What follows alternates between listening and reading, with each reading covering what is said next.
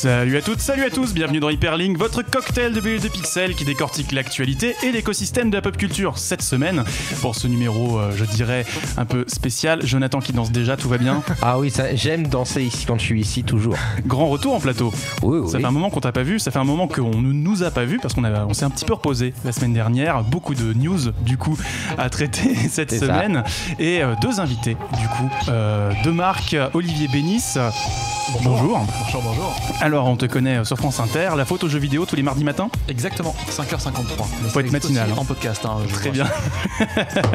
Alors, c'est comme mon- tu traites, euh, tu traites des jeux vidéo sous un angle, euh, qu'est-ce qu'on en conserve, si je dis pas de bêtises? C'est ça, qu'est-ce qu'on en conserve et puis essayer de parler euh, de jeux vidéo à la fois aux gens qui jouent et aux gens qui ne jouent pas du tout et qui auraient quand même envie de découvrir des univers euh, bah, un peu différents et des choses que peuvent apporter le jeu vidéo au niveau culturel. Très bien, donc on se retrouve sur France Inter tous les mardis matins. De l'autre côté du plateau, nous avons le couteau suisse euh, du RPG japonais euh, dans la presse française, Pierre Mogin, bonjour. Salut.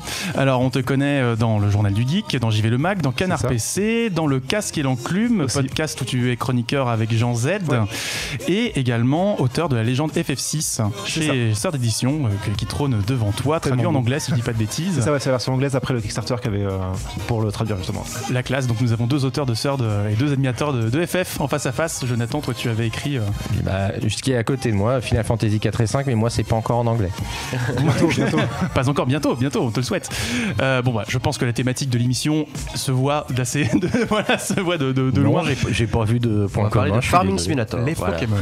Tout à fait. on va parler de Pokémon, très bien. Vous savez que c'est les 20 ans de Digimon cette année. Voilà, je le place à chaque fois. Euh, donc, on va parler effectivement de FF15, grand bilan euh, à quelques jours de la sortie de l'épisode Hardin. Euh, voilà, que faut-il retenir de FF15 Que faut-il retenir de ce grand chantier pharaonique? Et qu'est-ce que ça annonce pour la suite chez Square Euh, Autour du plateau, donc on a Jonathan, bien sûr. On a Titouan. Salut. Comment ça va Ça va très bien. Un petit peu chaud parce que ça... enchaîner deux émissions, ça donne chaud. quoi. bah, Bien sûr, tu animes euh, le Before eSport juste avant. C'était quoi Yes. cette semaine On a parlé euh, de l'association Francisport, donc qui, euh, qui regroupe un petit peu euh, toutes les associations principales qu'on peut avoir en France pour structurer un petit peu tout ce, ce domaine qu'est l'e-sport. Voilà. Très bien. Donc, on te retrouve effectivement en podcast sur VL. Tout à fait. Très très bien. Juste au-dessus de nous, de Hyperlink. Juste avant, Juste effectivement, avant. tous les dimanches à 16h et non pas à 17h. Et Grégoire, comment ça va Ça va et toi Grande nouvelle, je me suis mis à Apex Legends.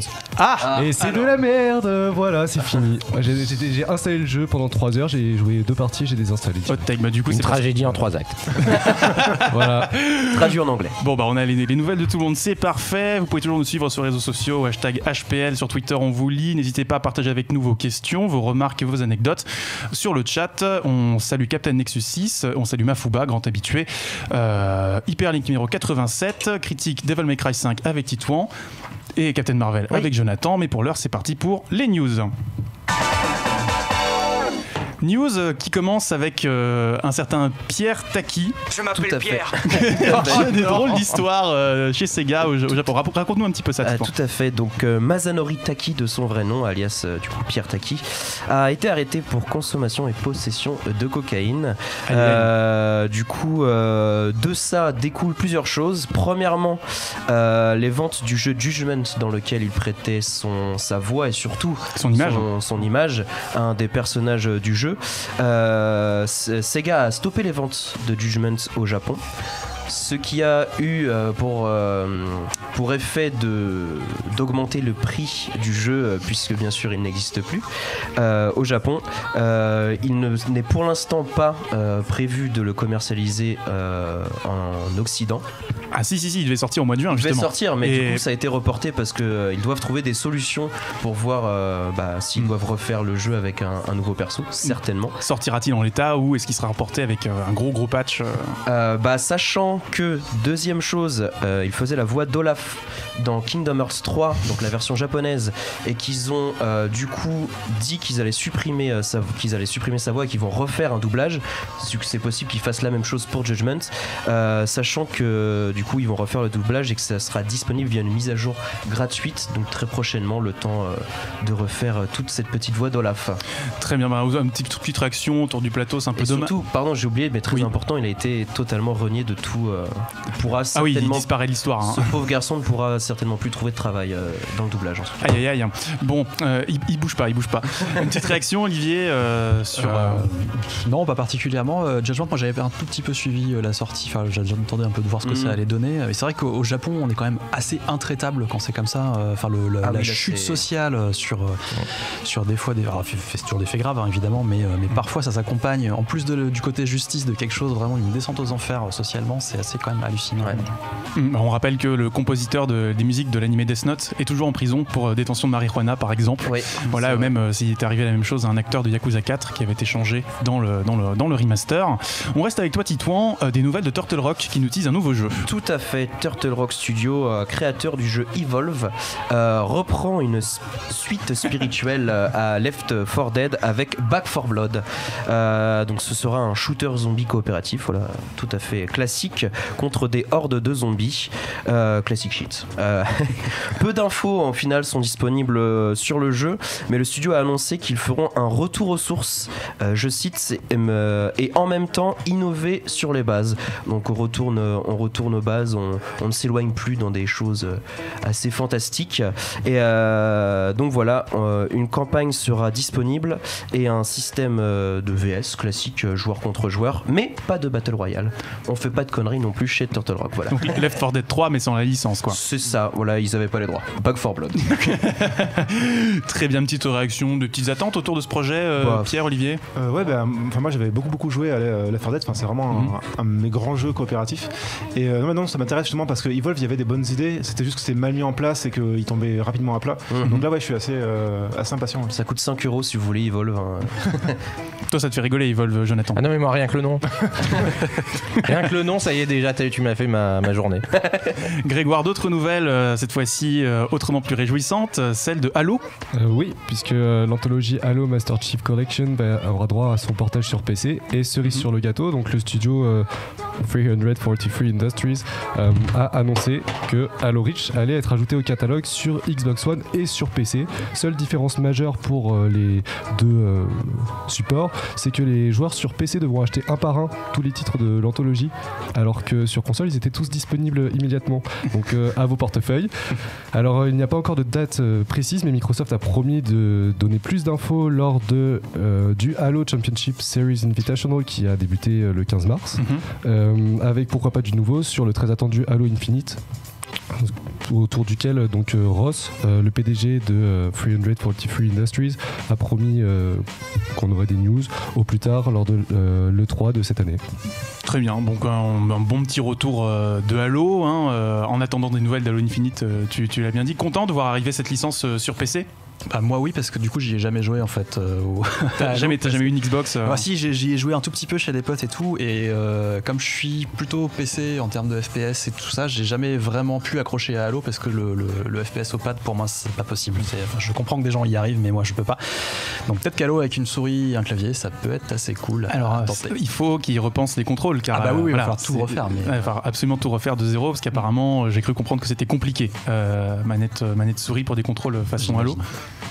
Pierre Euh, enfin, c'est compliqué dans, dans le sens où les ennemis justement ont des réactions euh, liées à la manette. Donc euh, en fait ils ont c'est mo- c'est moins précis qu'avec un- une souris parce que les ennemis vont avancer de mani- de manière moins rapide pour Mhm. que le joueur puisse les viser facilement à la manette. Mhm. Donc euh, faut revoir aussi le rythme de- du jeu. ouais. Mm, mm, ok, bon, bah, pas mal, un petit chantier, mais sans doute ils auront les moyens de, hauteur mener de à bien. Euh, Jonathan, des nouvelles, euh, autre chantier euh, sur le trottoir d'en face chez Google qui prépare son entrée dans le jeu vidéo. Ah, c'est en tout cas ce qui se murmure. C'est vrai qu'on a eu un tease pour euh, jeudi prochain, une conférence le 19 mars. Alors, euh, oui, évidemment, c'est bien ça. Mardi, Mar- euh, mardi nous sommes le 17. Nous sommes le 17. Oh mon dieu, le, le temps file trop vite, je suis navré. Bon, pour aller assez vite, on il se murmure plein de choses, notamment la présence à cette conférence de pas mal de gros poids lourds du milieu, en tout cas de gros euh, parties d'influence et de studios comme par exemple Ubisoft. Mais c'est vrai que, ce que la, la question que tout le monde se pose, c'est qu'est-ce que Google va mettre en place sur ce domaine sur lequel il est euh, encore assez euh, assez euh, vert on va dire pour rester Oui. lui voilà et euh, comme donc ça alors ça va être mardi donc le 19 mars donc euh, pas mal de gens attendus pour, au milieu et on- pour au niveau des annonces on est encore un peu dans le flou il se murmure plein de choses on va Du dire hardware. voilà du hardware probablement pas mal de choses euh, au niveau de ça donc là on, Bah, on attend de voir pour mardi Ben, oui, Grégoire. Alors apparemment, euh, ce qui serait déjà acté, c'est une nouvelle console. Et étant Mhm. donné qu'ils ont déposé des brevets aussi il y a quelques jours sur Avec les euh, manettes. ouais. gestion de notification et pour une manette. Et puis il y a le service, peut-être le service de streaming, euh, puisqu'on avait, ils, avaient- ils étaient passés en phase de test te- technique sur, Sur Assassin's Creed Creed. Odyssey avec Ubisoft. Donc euh, pourquoi pas les deux grosses annonces à voir. Mais après, c'est quand même un grand pas en avant pour Google qui s'était tenu à l'écart. Enfin, c'est le seul géant américain qui s'était tenu totalement à l'écart de l'industrie vidéoludique jusqu'à maintenant. Et euh, Donc, euh, le lien avec Assassin's Creed serait logique étant donné que Jade Raymond a été promue à la tête de cette branche et elle a elle-même été productrice sur les premiers Assassin's Creed donc euh, la boucle serait bouclée. voilà. Euh, je vois pas mal de gens euh, fantasmer sur une arrivée de Reggie Fils-Aimé euh, chez Google. Mais ah bon. ouais Euh, attends, je sais His pas. body is ready. Voilà, un certain, un certain Kokobe, voilà, pour ne pas le citer. Kobe Petite réaction, oui. Mokobe Non, Kokobe. Ah, ça aurait été même. impressionnant, mais. même Une petite réaction, euh, Pierre, euh, sur euh, l'entrée de Google? Bah, c'est intéressant parce que c'est c'est vrai qu'ils ont comme les moyens de de- d'avoir vraiment un, vrai, un vrai fort catalogue en fait. Surtout avec Jade Raymond qui justement a bossé chez Ubi, mais notamment chez, euh, chez EA aussi. Mhm. Donc elle a l'habitude de gérer des gros projets. Donc c'est pas intéressant de voir ce qu'elle va faire euh, là-bas. Ouais. Mm, mm, mm. Et donc, euh, Jonathan, on reste avec toi car euh, on a des nouvelles de- du côté du cinéma, peut-être le plot Oui. twist euh, de l'année. le plot twist manga euh, Euh, best anime betray- betrayal de l'année Ah non, les animés, c'est moi après, mais on va commencer par le cinéma live. James Gunn, qui James revient Gunn chez revient, Marvel. voilà, enfin chez Marvel et même Disney, puisqu'il a été réengagé pour réaliser Guardians of the Galaxy 3. Donc on rappelle les faits très rapidement. Le 20 juillet 2018, il avait été licencié par Disney à cause de tweets qu'il avait fait il y a 10 ans, qui ont été supprimés, euh, notamment des blagues sur la pédophilie. Et euh, il y a eu une vague de euh, protestations en sa faveur pour qu'il soit réengagé, notamment les acteurs de Guardians of the Galaxy avaient tous dit qu'ils voulaient qu'il soit réengagé. Dave Batista particulièrement avait été très vocal là-dessus, jusqu'à même limite demander à Disney de le virer. Sauf que James Gunn, lui, a été très classieux. Il a vraiment bien accusé le coup. Il, avait commencé à bosser sur Suicide Squad 2 chez DC. Donc là, il a été réengagé. Il n'a pas été, en tout cas pas ce qu'on sait, euh, déposé de, enfin, euh, viré de Suicide Squad 2. Donc il y a des chances qu'il le finisse ce projet, donc la production notamment vers la, la fin 2020, et que euh, Il enchaîne après voilà, il avec, enchaîne euh, après avec Guardians of the Galaxy, ce qui fait que de Suicide Squad 2, ça serait probablement 2021 et Guardians of the Galaxy 3, ça ferait 2020, horizon 2022. Donc ça veut dire qu'il va, il va rusher Suicide Squad 2. il va le bâcler, ça va être génial. Comme le premier, Ah, tu veux dire Le- le- attention, le, le script de Guardians of the Galaxy 3 est, ce qu'on nous dit en tout cas, déjà fini. Ah, donc en plus, il travaille pas sur Suicide Squad 2 en fait. Bah là, je, je pense qu'il le fait, mais c'est-à-dire que là, le, le script est déjà fait, il n'y aura pas grand-chose pour mettre en production. Bah, disons que oui, vu, vu la fin du deuxième, on se doute que le, le troisième était déjà écrit avec un personnage très important qui va C'est peut-être arriver. C'est voilà. ça, c'est ça. Et puis après, alors par contre, la question c'est qu'est-ce qui va se passer à la fin du, du gros film qui va nous arriver au mois d'après. Olivier, une petite réaction, je te voyais euh, sourire. C'est pas tellement une réaction, en fait, c'est que j'arrive pas à comprendre ce qui a motivé cette décision. C'est-à-dire qu'à l'époque, il y a eu une espèce de branle-bas de combat, tous les acteurs se sont mobilisés, il y a eu des, des- des pétitions pour qu'ils reviennent, ça a rien fait, et là d'un coup, ils le réintègrent, et je. je- L'argent Enfin, je sais pas, peut-être qu'il y a un truc qui, qui nous échappe à tous. Il y a, il doit y avoir une, quelque chose. euh, C'était pas, un il cheval il de Troie depuis le début. Ah là là. Il y a des gens qui disent ça, que, qui, qui l'ont envoyé chez DC, en fait, volontairement en le virant, et que du coup, ils le récupèrent Juste pour ensuite flinguer euh, l'autre projet. idées, euh, ouais. Très bien, très très bien. Bon bah, on suivra ça de, de très près. toujours. On finit ce point news avec euh, euh, un gros euh, pavé de chez Netflix qui annonce euh, la production de quatre séries de Japanime, euh, donc comme quoi David Man Crybaby a fait des petits.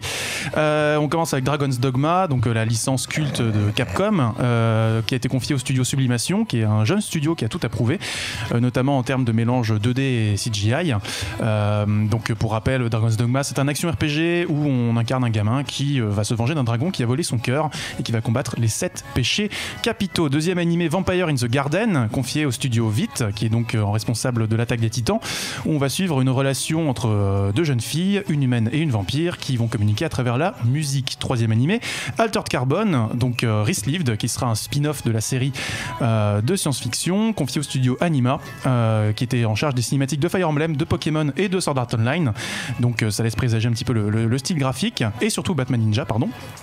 Euh, sachant que la saison 2 est toujours en production chez Skydance. Quatrième et dernier animé, Super Crooks, celui-là qui est assez intéressant parce que c'est confié au studio Bones, euh, qui travaille sur Mob Psycho 100 et Fullmetal Alchemist, euh, qui serait une adaptation d'un comics de Mark Millar, euh, donc déjà auteur de Kick-Ass et Wanted, où des super-héros et des super-méchants vont s'associer pour préparer le casse du siècle. Et ça s'ajoute à deux séries qu'on connaissait ça. déjà. La nouvelle saison de Ghost in the Shell Standalone Complex, prévue toujours chez Production IG avec Kenji Kamiyama, créateur original, et Spriggan, confié à David Pro qui bosse sur JoJo's Bizarre Adventure. Bon bref, Netflix euh, veut les otaku. il y a du gros là. Il y, a du, il y a du gros, euh, peut-être un petit projet qui rejoint, euh, qui, qui retient votre attention dans, dans tout ça. Bon, à peu près tout. Moi, Dragon's Dogma peut-être Dragon's Dogma, parce que j'espère qu'ils feront un animé meilleur que le jeu, mais c'est tout. Bah, on peut partir du principe que ça annonce déjà Dragon's Dogma 2 pour tâter le terrain. Ça serait pas illogique. Ça serait, Ça pas serait dommage, juste. Olivier Euh, moi, Standalone Complex, forcément, parce que je, je suis un fan absolu de Ghost in the Shell. Donc, euh, donc si c'est toujours, euh, c'est toujours IG, euh, a priori, Et devrait Kamiyama, y avoir de problème. Oui, et Kamiyama, évidemment. Et euh, non, enfin, sinon, le tout m'intéresse. Le fait que Netflix, en fait, se lance vraiment là-dedans et reprenne pas juste des vieilles séries ou importe pas des trucs en masse euh, et vraiment produisent. Euh, J'étais pas convaincu au début. Après, j'avais vu Devil May... euh, ah, pardon. euh, Devilman, euh, Cry Baby, Crybaby, voilà, je mélangeais avec Devil May Cry, euh, qui était très très très bien et très surprenant pour une série Netflix. Et donc, euh, ouais, il y a moyen quand même de. Enfin, en gros, ils, ils ont fait leurs preuves, y compris auprès d'un public très pointu. Faut voir comment ils transforment après l'essai. Grégoire Euh, Il y a juste un point sur lequel je suis curieux, c'est Altered Carbon, parce qu'ils ont sorti la série la- l'année dernière, que j'ai vu, qui était pas si mal visuellement. Mais euh, du coup, je suis un peu curieux de voir comment ils vont le faire en animé en fait. On va faire une petite, euh, une petite Blade Runner 2049 avec des petits spin-offs animés, ça va être sympa. Mais ce qui est marrant, ce qui est marrant en fait, c'est que tout- tous les, enfin pas les animés, mais tout ce qui était euh, Marvel n'a pas marché. Du coup, ils se sont dit bon bah le Japon c'est pas mal en fait. Bon, surtout que Disney se casse avec ses licences Oui, c'est surtout ça. C'est surtout ça. Mot de la fin, Pierre Non mais moi c'est pareil, tout m'intéresse. euh, mais je suis vraiment curieux. Enfin, Dragon's Dogma, je, je pense que ça va être compliqué de faire quelque chose de vraiment qualitatif, mais euh, la- l'adaptation de Castlevania était plutôt chouette. Donc euh, pourquoi pas je, suis- curieux de voir aussi. Et on rappelle qu'il y a une série live Devil May Cry qui va arriver aussi. Voilà, euh, donc on se retrouve d'ailleurs pour parler de Devil May Cry et Captain Marvel après la pause musicale. On s'écoute Young Bay, If You Want It, et on se retrouve juste après. De retour dans Hyperlink, toujours avec Jonathan qui danse, décidément. Hyperlink n'est pas une, c'est pas Hyperlink s'il n'y a pas quelqu'un qui danse. Ouais, Toujours. c'est- mais il fallait pas faire des jingles comme ça. hein. Ah bah, Ah bah, écoute. écoute, écoute, c'est pas ma faute. hein. Euh, voilà, on remercie euh, toute l'équipe euh, derrière, évidemment, qui sélectionne avec soin euh, l'habillage sonore. Euh, cette semaine, du coup, euh, on va parler en critique de Captain Marvel, tout d'abord, mais aussi de Devil May Cry 5. Donc Captain Marvel avec toi, Jonathan. Devil May Cry 5 avec toi, Titouan. Hyperlink numéro 87. C'est parti pour les critiques. Mais c'est de la merde Alors, Captain Marvel, Jonathan. Oui, alors le 21e film du Marvel Cinematic Universe, Captain Marvel nous raconte l'histoire de Carol Danvers, une humaine amnésique qui est dotée de pouvoirs très puissants et qui a été recueillie par le peuple Kree, qui l'a un peu pris sous son aile. Six ans après sa perte de mémoire, elle intègre une unité d'élite, donc euh, dirigée par son mentor, euh, alors Yon Rogue, qui euh, donc est joué par Jude euh, Carol Danvers étant joué par Brie Larson, et ils sont embarqués dans une histoire qui les amène à lutter contre les Skrulls, un peuple de métamorphes donc, contre qui les Kree sont dans sont, contre qui les Kree sont sont euh, attaqués, guerre. en guerre voilà. Et Carol Danvers va se rendre compte que son passé terrien pourrait être lié à la guerre acharnée entre les Kree et les Skrulls. Donc là, on a une nouvelle origin story, on a une nouvelle histoire qui nous présente un personnage du MCU, là, le personnage le plus puissant, très clairement, et ça se passe en 1995, donc 23 ans avant les événements d'Infinity War qu'on avait vus. Et la promesse du film, c'est de nous faire non seulement découvrir ce personnage, son histoire, mais aussi quelques petites choses sur les origines du MCU et notamment bah, sur euh, Nick Fury qu'on retrouve donc avec Samuel L. Jackson qui a été euh, rajeuni pour l'occasion et rajeuni de manière très euh, très crédible. très- on ne voit pas du tout, ce sont des, des effets spéciaux. Et donc Nick Fury avec Carol Danvers, va, ils vont faire équipe pour euh, élucider les machinations des Skrulls.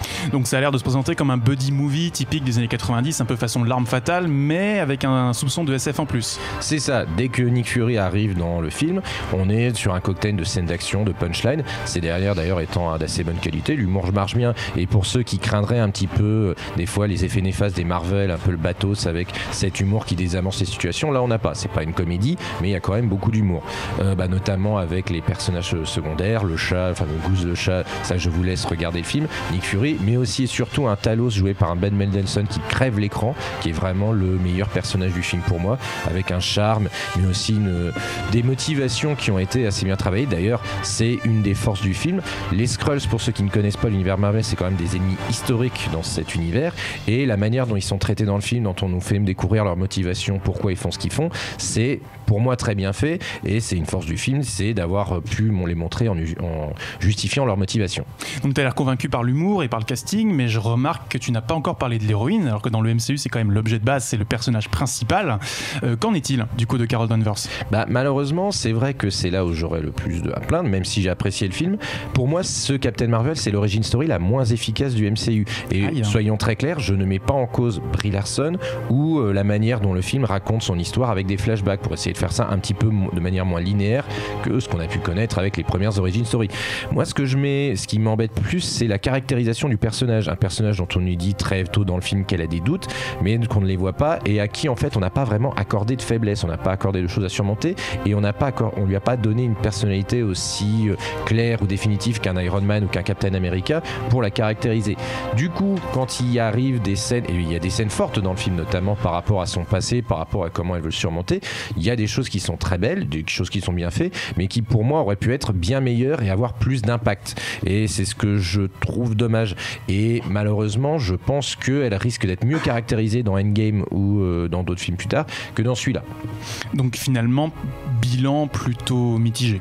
J'ai passé un bon moment, mais je et j'ai plutôt apprécié, mais je suis un peu déçu parce que j'en attendais plus. Alors, est-ce que c'est la faute aux scènes d'action qui sont correctes, mais qui dès qu'on passe au euh, combat à main nue, bah malheureusement on voit les cuts qui sont faits pour éviter que les, les, les acteurs n'aient l'air euh, assez incompétents parce que clairement c'est pas eux qui se battent lors des scènes de, de combat à main nue.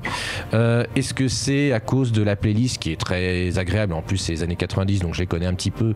Et je, mais voilà, je savais pas que les intelligences artificielles aimaient le Nirvana. Maintenant, grâce à ce film, je le sais. Mais voilà, c'est appréciable, mais c'est pas forcément aussi thématiquement euh, ou aussi bien intégré, par exemple, qu'un Guardians of the Galaxy. C'est pas aussi, euh, c'est pas aussi fluide que ça. Et voilà, pour moi, c'est un divertissement qui est très honnête. Tous les fans du MCU s'y retrouveront. Mais voilà, je pense qu'il y avait mieux à faire sur le personnage et surtout, je regrette que le, que le côté préquel du MCU à expliquer certaines choses euh, ne prenne un peu de temps sur le reste. C'est-à-dire que par exemple, sans la spoiler, la toute dernière scène du film pour moi aurait dû être une scène post-crédit et ça aurait été beaucoup plus cohérent dans l'histoire. Voilà, ça, ça fait partie de ce genre de choses. Euh, parce qu'en fait, on aurait pu et on aurait dû donner plus de poids à Carol Danvers parce que c'est cette dévotion au personnage qui pour moi fait la marque de fabrique du MCU et finalement là on a un personnage qui est quand même sympathique mais qu'on nous caractérise pas vraiment et à mon avis dont il va falloir attendre d'autres aventures pour en apprendre plus. Voilà. Et alors si on a là c'est effectivement je n'ai pas parlé de féminisme dans cette critique tout simplement parce que ce film n'a pas de propos là-dessus. Il met en scène un personnage féminin fort et il le fait plutôt bien mais il n'a pas de propos dessus. Et c'est vrai que à la limite j'aurais même préféré pour qu'on accentue un petit peu le, le travail qui a été fait sur le personnage là pour moi Captain Marvel c'est sympathique c'est sympatoche mais c'est juste sympatoche 9 cède Très bien, très très bien. Je vois euh, Kevin Elarbis sur le chat qui dit que la playlist est démente avec plein de majuscules. Attention, Jonathan, sois doux. Je pense que tu l'as été. Euh, mais elle est très bien elle est très bien c'est juste qu'elle aurait pu être mieux utilisée Pierre, Olivier, une petite réaction. Vous avez pas vu pas Captain Marvel, je crois. ouais. Non, non, non, non. Donc euh, des petites attentes ou Euh, vous êtes client ou pas du MCU Moyenne, enfin, je je trouve pas ça désagréable. C'est juste que j'ai un peu du mal avec les- la construction de chaque film en fait, où j'ai, enfin, je suis jamais vraiment surpris par la mise en scène ou par des, des idées euh, visuelles. Mhm. Du coup, enfin, je trouve ça joli, bien fait, mais j'ai pas d'attente ouais, particulière. euh. Mm, toi, euh, Olivier, du coup Euh, pas vu encore pour l'instant, mais euh, enfin, faut que je m'y précipite assez rapidement quand même parce que euh, j'attends vraiment beaucoup d'Avengers Endgame et comme le personnage était extrêmement bien teasé à la fin du Ouais. précédent, euh, voilà, c'est ça donnait envie de le voir alors que pour l'instant, enfin qu'au départ, c'est pas forcément un personnage dont, dont- Mm. qui a beaucoup d'intérêt pour moi, mais c'est le, enfin, que je le- trouve le intéressant. shipping est très très fort en fin, en fin de trailer, effectivement. effectivement. Grégoire, toi je te voyais euh, tressaillir pendant la, pendant la critique. Parce qu'en fait, je suis totalement d'accord sur le point où euh, le- il y avait un traitement dans le film qui aurait pu être euh, meilleur, notamment au début. euh, en termes d'univers, euh, tout simplement de la planète Kree. il- Ouais, il, aussi, oui. il manque des. Il y a des. En fait, il y a un truc qui a beaucoup pêché, c'est que les réalisateurs et l'équipe autour a manqué d'inspiration et que derrière, il y a des scènes de remplissage alors qu'ils avaient, euh, ils avaient tout le potentiel en main pour exploiter au mieux euh, euh, le- l'univers Ce qu'ils que, avaient. ce que tu veux dire, c'est que c'est peut-être pas assez incarné en fait. C'est un peu ça, je pense qu'ils ont manqué d'inspiration. Après, euh, il y a un point sur lequel j'ai pas du tout eu la même euh, lecture, c'est sur le personnage féminin. Pour le coup, je l'ai trouvé beaucoup moins bien traité et pour une fois, ça fait. Ça fait des mois qu'en tant que fan de DC Comics, j'attends de pouvoir le dire, mais Wonder Woman euh, supérieur euh, à Captain Marvel.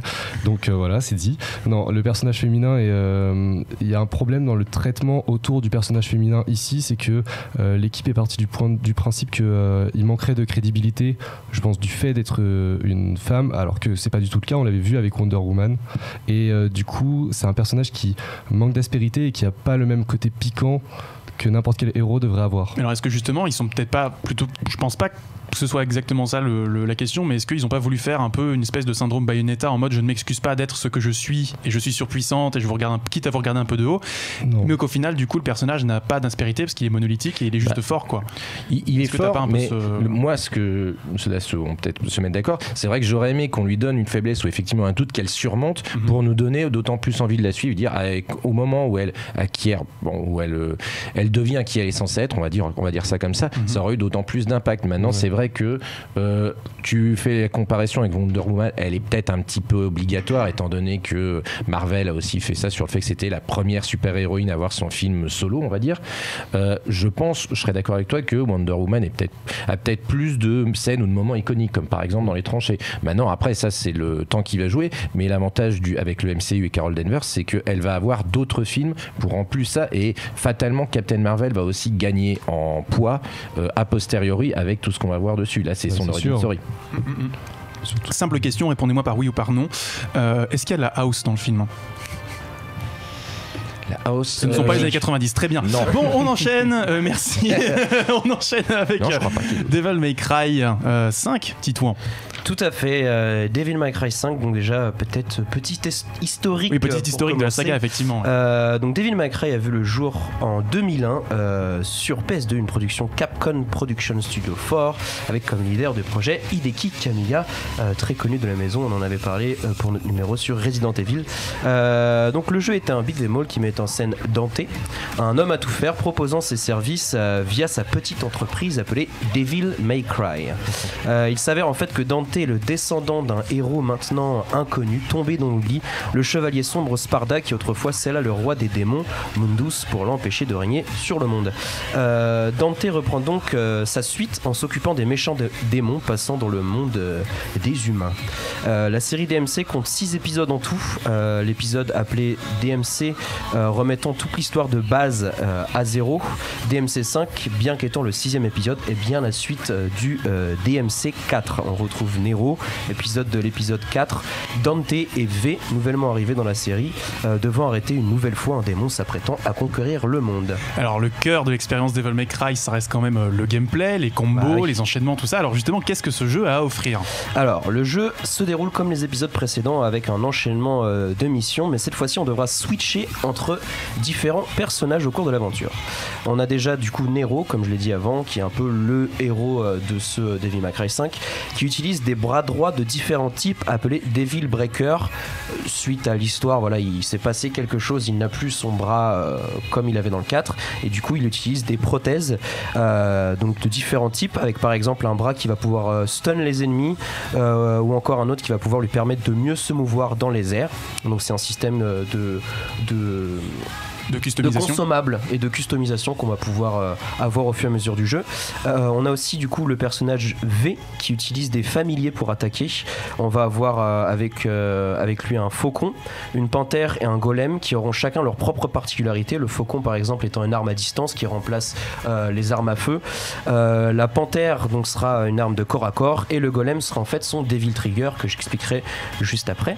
Euh, Dante lui reprend son style habituel avec quatre styles de combat. Open Euh, bar. Que sont Trickster euh, pour se déplacer, Swordmaster donc pour utiliser euh, mieux les épées et les armes, euh, Royal Guard pour la défense et Gunslinger pour utiliser mieux les armes à feu. Il est aussi équipé de 4 armes différentes et 4 armes à feu différentes, ce qui offre une énorme combinaison de combos, sachant qu'on peut switcher d'armes dans des combos et de style et c'est complètement fou, ça nous fait du 4x4x4, euh, voilà, open bar comme tu disais, c'est japonais à volonté. J'en parlais au-dessus, mais du coup le Devil Trigger est aussi important à mentionner, une mécanique très importante pour les Devil May. Euh, en tuant des ennemis en étant touché, la jauge de DT, Devil Trigger, augmente et arrivé à 3 barres, il est possible de l'activer euh, pour se transformer. V, lui, peut faire apparaître Nightmare, du coup son golem, et, euh, et pour utiliser des attaques beaucoup plus puissantes. Et Dante, lui, se transformera en démon pour augmenter la force de ses coups et aussi régénérer sa vie, qui est une mécanique du coup très intéressante.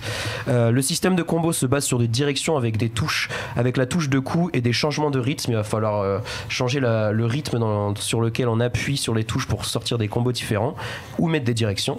Euh, des extensions sont possibles avec par exemple des, lar- des armes à longue portée ou encore les Devil Breaker de Nero ou les Devil Trigger et tout, j'en passe. Le jeu est extrêmement fluide dans sa construction, même si par exemple en envoyant plusieurs ennemis valser dans les airs en utilisant des pouvoirs, il peut y avoir des petits ralentissements, mais le gameplay est vraiment excellent. Ah oui, tu le disais, le, gameplay est excellent. Euh, Est-ce que l'aspect esthétique suit J'imagine que sur les animations, déjà, ça doit envoyer. Alors, déjà, on avait pu voir sur les images, euh, dès qu'on lance le jeu, on est tout de suite euh, sur le cul, on peut le dire. Euh, le DMC5 tourne sous le RE Engine, coucou Mhm. Resident Evil 2. On avait déjà pu voir dans, le, dans Resident Evil 2 que les images étaient vraiment magnifiques. Un les rendus ouais. des textures et des visages sont excellents. Le Cara Design aussi est aussi important et impressionnant avec la refonte de Nero et de Dante aussi, même si j'aime pas trop sa petite barbichette, c'est un choix personnel. Le barbu. hein, Voilà. Et euh, non, mais il a trois pales sur le menton, c'est horrible. Enfin, franchement, faut le dire. Et surtout l'apparition de V, donc qui vient rajouter un petit aspect euh, heavy metal, si on pourrait dire, euh, au jeu avec ses tatouages partout sur le corps. euh. Scrimo plutôt, je dirais. Ouais, c'est plutôt Ouais. ça, euh, limite cyberpunk même. Oula. Euh, Oula. Les, les musiques sont aussi vraiment de bonne manufacture, avec un mélange de métal, hard rock qui viennent ponctuer l'aventure. On a aussi quelquefois plutôt des chansons chantées, qui sont Mhm. aussi sympas pour les moments un petit peu plus doux. La drum and bass aussi, petit La- de la drum and bass pour être un peu plus euh, actuel dans son temps. Euh, au niveau du son d'ailleurs, il a quelques indicateurs sonores qui sortent des haut-parleurs de la manette, euh, ce qui est assez sympa au final, même si un peu gadget. Voilà, ils s'en servent, mais ils auraient pu s'en passer. Le sound design, sinon, est encore une fois excellent avec un nombre de sons organiques et gore assez impressionnant. On en a cette explosion de sang qu'on peut voir. on en a, on en a pour tous les goûts. Devil May Cry 5 du coup est un indispensable si vous avez aimé les précédents épisodes et euh, si vous ne connaissez pas encore la licence, ça peut être aussi un bon point d'entrée puisque dans le jeu, euh, il est résumé toute l'histoire auparavant euh, dans, un- dans une petite cinématique assez sympa à voir. Donc il est ouvert à tous. Un, un pour les fans et pour les nouveaux venus. Oh là là. Exactement. Euh, Olivier, euh, Pierre, vous y avez joué. Oui. Euh, bah Pierre, Ouais, peut-être Pierre, peut-être, oui. en a fait la critique, je crois. Euh, ouais, bah, ouais, non, moi j'ai j'ai beaucoup, j'ai beaucoup aimé aussi. C'est surtout, enfin, c'est euh, même j'avais beaucoup aimé DMC, donc qui était euh, fait par un studio, donc un autre studio, Ninja que- Theory, ouais. voilà, et euh, qui conservait en fait le, le style, mais pas forcément l'univers. Et donc là, justement, on revient à cet univers-là. Et euh, en fait, mine de rien, même si DMC est un, très- est un très bon jeu, le 5 a cette, cette folie en plus, en fait, qu'il n'avait pas Ouais. que. C'est unique. Enfin, il y a un côté vraiment très japonais là-dedans. C'est un. Et assumé. en C'est une école de système voilà, qui est vraiment assumée et euh, ça va dans tous les sens. C'est, très second degré. C'est, il y a vraiment un côté complètement. euh, Enfin, ils, ont, ils ont pas de limite en fait. Et euh, ce que Le chapeau. Ouais, La scène du chapeau. mais voilà, tu, ça. tu, tu, tu, tu, tu, t'en dis rien. Mais voilà, juste pour ça, effectivement, ça vaut le coup de le voir. Mais voilà, il y, a- il y a ce côté sage, enfin, euh, qui a été abandonné par rapport à DMC, et je trouve qu'il il retrouve cette, cette folie et cette espèce de, ouais, de Identité un peu. d'identité ouais, très viscérale qu'a- qu'avait la série. Ouais. Et alors moi, ce qui était- m'avait surpris dans ta critique, c'était justement que tu disais que le jeu avait un volet plus mélancolique et peut-être Ouais. plus, plus autoréflexif aussi, euh, ce qui est Ouais. intéressant, Ouais, ouais. vu l'âge du, du- de Hideaki Itsuno. Ben c'est ça, c'est qu'en en fait on sent qu'il y a un- une vraie cassure en fait où, où le- l'arrière-garde des, euh, des vieux DMC est vraiment cassé par ce DMC5 en fait. Comme si c'était vraiment le successeur et qu'il il avait envie d'un un peu de, de briser les, les murs et de trouver sa propre identité. hein. On dirait surtout que ça sera le, le dernier en plus. il, il remet pas beaucoup mal de choses de- en de question et on sent que. Bah, du, du moins avec ouais, peut-être avec Dante Virgil le- l'affrontement ouais je pense que c'est vraiment si d'autres viennent ce sera plutôt avec numéro et voilà Oui, effectivement, oui. C'est- Disons qu'on est à la fin d'un la fin d'un arc. euh, Voilà, on va dire ça comme ça. Euh, Olivier, Tu, parlais de folie, il y a notamment euh, la- le générique, enfin le, le- le- la scène d'introduction euh, avec une baston au, au avec, euh, avec Nero qui sort d'un camion avant d'y revenir. Ah, ça Ouais, ça dure quelques secondes dans la vraie vie et ça dure 5 minutes en, en truc. C'est incroyable à voir et quand on commence à voir ça, on fait d'accord. Là, euh, là on est revenu euh, au côté, ça va être n'importe quoi. On est Ouais. presque plus proche d'un Bayonetta en fait. en- oui complètement ouais. en termes de, de- de folie et de n'importe quoi. Et pourtant, euh, comme tu disais, il y a aussi un gameplay qui est, euh, qui est vraiment au taquet. Enfin, on sent les, les- les années et presque la, la décennie d'expérience Ah sur ouais, ce ouais. truc-là. Euh, on fait pas mieux en fait en termes de, de beat them all aujourd'hui. Enfin, moi, je, ça faisait très longtemps que j'avais pas pris en main aussi facilement un jeu, Ouais. euh, un Devil May Cry, et euh, tout en ayant quelque chose de très complexe. Si, si on veut y aller, si on veut être dans quelque chose de très compliqué, faire des combos complètement barrés, ça, ça peut se faire aussi. Donc, il est vraiment très sympa pour ça. Ça, sachant qu'Itsuno c'est un ancien du, du jeu de combat, donc c'est vraiment un mec qui a la notion de, de- du timing, de, des hitbox, enfin, c'est Ouais. un, c'est un mec qui On vraiment. sent quand euh, certains coups permettent de changer d'arme et pas d'autres, on sent Ouais. que c'est vraiment euh, emprunté au jeu de combat. Une petite remarque, Jonathan, je crois que tu voulais Ah, t'exprimer sur Très- le jeu. Question très vite de profane. Euh, vite. Est-ce que le fait, les changements de style, tout ça, est-ce que tu sens vraiment la différence dans le gameplay? Ah oui, oui, carrément. Enfin, moi personnellement, je joue que en trickster pour avoir la mobilité euh, Mhm. durant les combats et pour. euh, c'est- en fait le jeu te permet d'exprimer ton style. Tu D'accord, non mais voilà. Donc, mais non, non, tu me l'as vendu. en en fait. euh, D'accord, donc tu me l'as vendu. Le jeu n'a rien à voir si tu changes de style. euh. Et plus tu y joues, mieux c'est. D'ailleurs, que tu vas apprendre euh, effectivement. Donc c'est- peut-être ça aussi qui fait que les premières heures peuvent être un petit peu, un petit peu difficiles. Mais euh, Le jeu t'encourage à le refaire en niveau de difficulté supérieur. euh, on dira un petit goût de reviens-y. Merci euh, à vous deux pour les critiques euh, de cette semaine. On s'écoute tout de suite, bah, on l'a déjà entendu euh, en, en musique de fond, on s'écoute Devil Trigger de Casey et Ali Edwards euh, et on se retrouve juste après. De retour dans Hyperlink, votre cocktail de du pixel qui s'ambiance avec des pauses musicales euh, survoltées, parce Ah qu'en oui. même temps que c'est un bel argument de Devil May Cry 5, n'est-ce pas Titouan? Tout à fait, Thierry. Je m'appelle Karel, moi. Et son équipe, c'est Car- vous Hashtag Thierry et son équipe, ça, ça marche aussi, mais c'est pas chez nous. Euh, donc Jonathan de retour, Oui, oui, dis- discrètement. Bah, euh, oh, voilà, là. Discrètement en retard. Bah, Tu- tu- tu sens le- super pour FF15 tu, re- tu ressens la, la puissance du contre-champ, c'est incroyable. Bon, tu- Aïe, aïe, aïe. Le mot est lâché, FF15, je pense que c'est le, le moment, euh, c'est le moment du grand débat. FF15, le mal aimé, de quoi FF15 est-il le nom Où va Square Enix avec cette licence C'est l'heure du débat. 50 dollars que j'ai raison. Je tiens le pari. On se sent visé Je monte à 100 dollars. Alors peut-être pour commencer, euh, présentons Final Fantasy, c'est quoi la- l'ADN de cette saga? Déjà c'est une saga qui a 30 ans, on peut dire commencer sur NES par euh, un certain gentil monsieur qui s'appelle Hironobu Sakaguchi, Mm. n'est-ce pas? Bah, Il y, a- il y a toujours cette, euh, cette légende initiale de Final Fantasy qui. euh, j'ai jamais trop su du coup si c'était vrai ou pas parce qu'il y a eu des, des, contradictions sur le sujet, mais qui disait que c'était censé être le dernier jeu de Sakaguchi, donc il avait l'appelé Final Fantasy parce qu'il pensait que sa boîte allait couler et que ça marcherait jamais. Et 30 ans après, ça, il, il s'est complètement planté évidemment. Euh, 135 et tant mieux, millions de et tant ventes. mieux pour nous. Tant mieux pour nous. Euh, Final Fantasy, en fait, donc c'était euh, son idée d'un RPG, euh, d'un jeu de rôle, donc euh, à la japonaise euh, à l'époque, euh, à une époque où c'était pas forcément si développé qu'aujourd'hui, il me semble. Enfin, c'était encore balbutiant. Oui, même. euh, Dragon Quest avait un petit peu des... des- Voilà, ça, Voilà, on avait Dragon un peu Quest, débroussaillé Fantasy les Star, trucs. mais ouais, voilà, c'était surtout le RPG à l'occidental en fait, Mm. qui était très à la mode à l'époque, et même les Japonais jouaient quasiment qu'à des RPG euh, à l'occidental. Wizardry, Euh, Ultima, c'était les références. Exactement. Wizardry était euh, étant voilà, une des énormes références japonaises, enfin au Japon en tout cas, euh, qui est pourtant pas un jeu japonais.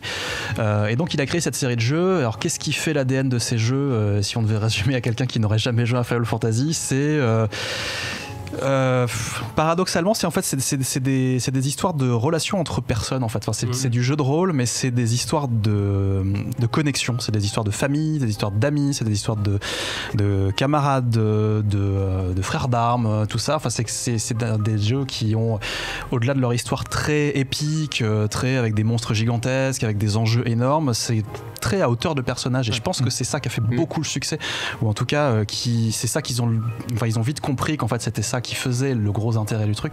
Euh, on est passé des, euh, des épisodes 1 et 2 où les personnages étaient encore vraiment à l'état d'ébauche et tout, à au 3, au 4, au 5, au 6 où là on est arrivé à des espèces de, de jeux de coraux en fait, avec vraiment des, des personnages euh, presque par dizaines par moment. Et, euh, et- et- et ce qui comptait c'était euh, bah, que d'où viennent ces personnages, où vont-ils et euh, comment vont-ils y aller ensemble. Jonathan C'est ça. Bah déjà, il y a effectivement le fait que c'est quand même beaucoup plus centré sur les personnages que sur l'histoire de manière générale, mais aussi que c'est souvent le même jeu. C'est-à-dire que, c'est important aussi, même si la, sup- la superficie change beaucoup, le cœur, c'est quand même effectivement sur une, euh, une équipe de personnages qui parcourent le monde. Au départ, pour un petit enjeu, effectivement, ça se termine en lutte épique pour, euh, pour sauver le monde, avec quelque chose d'assez linéaire, et autour, pas mal d'activités, de quêtes annexes, ce genre de choses, de choses à faire, de combats. Donc on retrouve quand même une, une matrice de base, plus ou moins euh, triturée, malmenée selon les épisodes. Il y a des épisodes beaucoup plus, euh, euh, comment dirais-je, beaucoup plus audacieux là-dessus, mais c'est cette, euh, c'est cette base-là qui a fait FF15 et qui a fait aussi une grosse partie du genre JRPG. Alors justement, Olivier, tu disais que FF c'est des histoires de personnages. Euh, Pierre, est-ce qu'on peut dire que du coup FF15 est authentiquement un authentique FF Dans son ADN, oui. Enfin, c'est c'est vraiment une histoire de, de, de plusieurs personnages qui partent à l'aventure. Donc c'est Ah, pas un vilain petit canard. Non, non, dans, dans- vraiment dans, dans, dans ses bases, dans, dans sa construction, c'est typiquement un FF en fait. C'est vraiment euh, ces personnages qui sont, qui sont, euh, La bromance. c'est la Provence, qui sont vraiment confrontés en fait à tout d'abord une menace, on va dire locale, avant d'avoir une menace globale en fait. C'est- vraiment- cette architecture là qu'on Mhm. retrouve dans tous les FF. Ouais. Mm, mm, mm. Donc euh, FF15, un jeu qui, on- c'est un peu la tagline, hein, euh, un jeu adressé, on l'a dit tout à l'heure, aux nouveaux venus et aux fans. À qui s'adresse vraiment FF15 finalement? Parce que maintenant là, il y a l'épisode Ardine qui va sortir dans quelques jours, donc euh, ce sera le dernier segment jouable de cette grande aventure. Et on est un petit peu ici pour en, pour en faire le bilan. À qui s'adressait FF15 finalement? Eh ben, bizarrement, ça s'adresse aux fans et aux nouveaux venus. Euh, non, en fait, c'est la tagline est, est très, euh, est très commerciale et euh, euh, enfin, pour ceux qui n'ont jamais joué au jeu, c'est vraiment la, littéralement la première phrase qu'on voit en lançant le jeu avant même d'arriver à un menu, c'est un Final Fantasy pour les fans et les nouveaux venus. Donc il y avait vraiment cette, en tout cas cette ambition là au départ. Ouais. Et plus on y joue, plus on se dit qu'effectivement, il y a. Enfin, en tout cas, moi, j'ai trouvé que ça s'adressait un peu aux deux. C'est que ça essaie de ramener des nouveaux venus euh, qui, seraient, qui seraient arrivés euh, d'autres types de RPG ou de monde ouvert ou de jeux un peu comme ça en leur, leur disant Hey, regardez, Final Fantasy fait aussi ça. Euh, et ça, ça essaye aussi, euh, parfois maladroitement, de conserver les fans en leur disant euh, Voilà, il y a tous les éléments que vous aimez, il y a des chocobos, il y a des modes, il y a des choses comme ça. Enfin, c'est parfois maladroit, mais en tout cas, ça essaye. Ça essaye. Grégoire? Euh, il repose. Alors après, perso, je trouve qu'il s'adresse quand même beaucoup aux fans. Pour, c'est, les fans qui auront la meilleure, enfin qui peuvent en profiter un max parce qu'il s'appuie beaucoup sur des non-dits et des éléments un peu, euh, des évocations tacites de Kingsglaive, le film. Mhm. Dans le, il y, y a beaucoup de, par exemple, euh, la disparition de l'empereur. Enfin, il faut avoir vu Kingsglaive pour comprendre que euh, derrière la cinématique de 5 secondes qu'on a dans le film, alors que c'est un personnage quand même clé dans, dans le- l'écosystème du jeu, euh, il y a, il y a, euh, un, un vrai, une vraie histoire. Et donc là, de ce point de vue-là, il s'adresse plus aux fans. Et peut-être c'est le côté monde ouvert qui essayait d'attirer des nouveaux joueurs surtout. Mm. Cette euh, présentation de- d'un Final Fantasy monde ouvert. C'est le- pour ça que moi je trouve que c'est c'est par ce monde ouvert et le fait de pouvoir faire un peu ce que tu veux que je, je trouve personnellement qu'il est plus orienté pour les nouveaux joueurs en fait. Plutôt que euh, plutôt que les que les fans qui sont déjà habitués à des trucs assez hardcore et enfin quand les jeux sur NES c'était quand même très rigide dans, dans, dans leur conception. Euh, là ils, ils ont essayé de faire un truc super beau euh, Organique. fluide qui dommage. Il est pas fluide. Mais euh, mais ouais non je- personnellement je trouvais plutôt qu'ils essayaient ils ont essayé de faire pour les, pour les fans, mais c'est quand même beaucoup plus orienté pour, euh, pour, des, pour des nouveaux venus en fait. C'est une porte d'entrée, une mauvaise porte d'entrée même, parce que c'est pas, c'est pas vraiment ça qu'ils voulaient te vendre de base, mais c'est une mauvaise porte d'entrée dans, dans Final Fantasy, je dirais. Alors après, de- Dans- tu fais bien de pointer du doigt le, le- disons la dichotomie entre le le- le- l'intention initiale et le produit fini, Mhm. si tant est qu'on puisse parler de produit fini. Euh, justement, qu'est-ce qui s'est passé? Oula Qu'est-ce qui s'est passé? toi, je, toi, je sais, Jonathan, que tu as, une petite euh, théorie là-dessus, qu'il faut rappeler que FF15, à l'origine, c'est FF versus 13. Voilà, et, ma- et malheureusement, beaucoup de problèmes liés à FF15 trouvent leur origine avec ce qui s'est passé avec la Fabula Nova Crystallis de FF13. On rappelle qu'il y avait tout un Alors, pro- ra- on rappelle, oui, Voilà. effectivement. projet très rapidement. On avait donc le FF13 initial, avec aussi un FF versus 13 qui est censé être piloté par Nomura et qui effectivement devait nous montrer un autre pan de cet univers. Un Final Fantasy Agito 13 qui lui alors a été sorti euh, sur portable d'une autre manière, qui est devenu finalement la base du Final Fantasy Type 0 qu'on trouve- qui est ici, mais qui est sorti d'abord sur PSP et ensuite sur euh, PS4 en HD. Et donc quelque chose, décidément, quelque chose qui finalement est- était une ambition assez grande de proposer un comment dirais-je quelque chose de cross média parce qu'on avait un, un même monde mais avec plusieurs euh, idées plus sur les mêmes jeux. Et finalement c'est pas du tout ce qui arrive au final. Final Fantasy versus 13 a été re- a été annulé repoussé enfin repoussé d'abord puis annulé ensuite. Et il est devenu le fameux Final Fantasy 15 qu'on connaît avec un développement finalement Final Fantasy 15 c'était un développement de 3 ans si j'ai bonne mémoire 3-4 ans pour 2016 Alors euh, oui, Versus 13 euh, a été rebaptisé FF15 euh, en 2013. Voilà. Sony, mais donc le, le dev a dû commencer quand même. Enfin disons voilà, ils ont gardé des 3-4 assets. ans euh, au moins Ouais. Et en 2014, au TGS, ils annoncent que le projet passe de Nomura à Tabata, Voilà. qui avait du coup terminé Type 0 euh, juste avant. Enfin, voilà. Euh, et Nomura qui partait sur FF7 Remake et Kingdom Hearts. C'était pas encore officiel, mais voilà. Nomura qui part sur du truc Nomura Mais du coup, euh, du coup, Pierre, est-ce que, est-ce que euh, avec Fabula Nova Crystallis, euh, Square a eu les yeux plus gros que le ventre? Euh, clairement, oui. Enfin, C'est-à-dire Mm. que, en fait, ils sont partis euh, vraiment la genèse du projet. euh, Enfin, tout vient à la fois de problèmes de développement interne et surtout euh, de l'arrivée d'un- de nouveaux moteurs aussi. C'est-à-dire qu'en fait, ils se sont rendus compte que euh, si- s'ils partaient sur le principe du monde ouvert avec le Versus 13 justement, euh, le moteur maison ne suffisait pas. Donc en fait, ils ont ils se sont rendus compte que même le, par, par- par rapport à FF13, c'est très difficile à optimiser. Ils se sont dit, on va changer de moteur et ça a retardé beaucoup le projet parce qu'ils ont été obligés d'en faire un quasiment de zéro, Mm. avec les bases qu'ils avaient, mais avec euh, aussi une base de d'Unreal Engine. Et c'est ça s'est euh, ajouté en fait au problème qu'il y avait en interne parce que c'était un projet qui était euh, un, projet pharaonique qui était difficile à gérer par Nomura. En plus, Sakaguchi était parti vraiment de, de FF pas très longtemps avant. Donc il y avait vraiment ce côté où il y a beaucoup de gens qui arrivaient à des postes de des postes de décision et ils n'étaient pas du tout habitués, habitués à ça en fait. Ils avaient, ils supportaient euh, une, une manière de travailler à la verticale et là c'est devenu à l'horizontale en fait. Donc même ça ils n'ont pas, ils ont pas réussi à le gérer. Il y a eu énormément de, de problèmes d'ego, de gens qui passaient en fait de directeur à euh, un élément parmi d'autres dans, le- dans le, dans le processus et c'était assez compliqué. ouais. Jonathan Puis euh, bah, il y a eu la réception de Final Fantasy XIII elle-même qui a aussi pas mal euh, changé les choses parce que mine de rien le côté très linéaire euh, faisait que Square Enix était quand même beaucoup moins assuré, enfin avec la réception même si ça s'est bien vendu, euh, finalement le backlash on peut le dire de pas mal de joueurs puis ensuite le fait que Final Fantasy XIII est devenu une trilogie, euh, il y a eu FF14 et pas mal de choses en plus avec là aussi euh, des, des retours difficiles, il y a eu pas mal de choses qui ont fait que finalement avant même de sortir FF15 était très attendu mais pas forcément pour les bonnes raisons.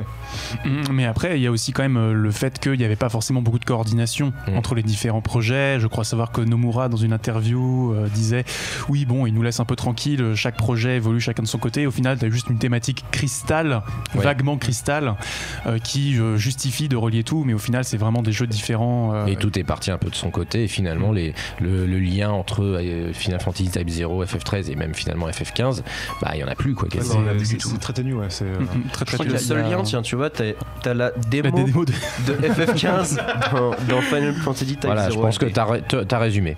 Olivier. Euh, Il y a quelque chose aussi, à mon avis, qui explique qu'on soit arrivé à, à un jeu un peu, un, un peu bâtard, enfin un peu pas, on ne sait pas trop quoi penser au final. euh, c'est que je pense sont, il y a une troisième ambition qui s'est greffée dans le jeu, qui était euh, d'essayer de faire quelque chose de plus intimiste, paradoxalement. C'est-à-dire de prendre une énorme aventure, mais de la centrer sur quatre personnages qui sont là dès le départ et uniquement sur comment ils vont, enfin comment ils vont évoluer euh, dans relation. leur relation de groupe, euh, comment ils se parlent, comment ils deviennent plus ou moins proches les uns des autres, et voilà. Et du coup, c'était, c'est très intimiste, mais c'était très ambitieux de vouloir faire ça dans un JRPG parce que Mhm. c'est pas du tout normalement l'endroit pour faire ça. Enfin, euh, même un monde ouvert, c'est très compliqué de développer Non. des personnages. GTA 5 y arrivait très très bien par exemple, mais c'était, c'était vraiment, ça nécessite une capacité d'écriture euh, quand même très très très balèze quoi. Mais en Donc, plus, c'est- marrant ce que tu dis parce que tu dis c'est c'est la, la relation entre les persos alors que t'as la moitié du jeu, tu joues tout seul. c'est ça, ouf quand même. Ils, ont, Oui, mais ils alors- se sont tirés une balle dans le pied. Mais, mais alors pas justement, que ce qui ça, est en fait. intéressant, c'est, enfin, vas-y, je te laisse parler si tu veux. Mais ce qui est, ce qui est assez intéressant, c'est que, euh, en fait, dans les, enfin, c'est source NeoGaf, hein, donc euh, ça prend avec beaucoup de pincettes. Mais je me souviens qu'à l'époque, il y avait eu pas mal de sorties euh, sur le script initial. À l'origine, c'était une trilogie versus 13. Oui. Il y avait trois jeux avec un méchant par jeu et toute une histoire de trahison. Et justement, dans les quatre personnages principaux, à chaque fois, à chaque fin de jeu, il y en avait un qui devait mourir en fait.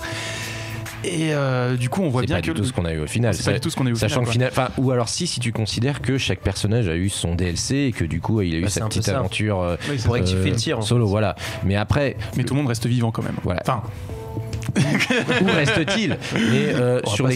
Finalement, finalement sur, euh, sur le côté euh, quatre personnages qui sont ensemble, qui dont les relations progressent, c'est vrai que finalement c'est- dans le produit fini, en tout cas ce qu'on a eu quand c'est sorti fin 2016, c'était ce qui a été mis en avant jusqu'à la toute dernière scène, y compris après les crédits. C'est là où tu te rends compte que, et c'est moi ce qui m'avait fait aussi aimer le, le jeu malgré ses gros défauts, ils y sont, les défauts narratifs, les problèmes de transmédia que tu disais par rapport à Kingslev, finalement c'est que jusqu'au bout ils ont essayé de mettre ça en place, jusqu'aux quêtes avec les flageolets qui sont devenus célèbres. et Mais- les Renettes. Il y, a- il y a une quête sur les flageolets, mais comme beaucoup de choses dans le jeu, tu l'as fait et tu peux l'apprécier parce que les personnages réagissent sur Oui. tout. Voilà. Et ça, du coup, c'est une chose, malgré tout, je pense qu'ils ont quand même réussi à le faire, même si effectivement, il y a des problèmes après narratifs sur la, la- le, raconter le monde, raconter le background du monde. C'est affreux la manière dont le, En fait, le, le- background qui est très bon est raconté. C'est un chapeau à idée, tu vois, tu tires un truc, je fais ah c'est cool, et c'est pas exploité, ah c'est cool et c'est pas exploité, Bah, c'est que c'est que ça tout est-ce que c'est pas justement un défaut de structure de euh, on tient une première moitié de jeu avec un monde ouvert très appétissant et on va faire de la rétention du joueur dedans en l'arrosant de annexes façon MMO justement vu qu'il y avait FF11 et FF14 qui marchaient bien.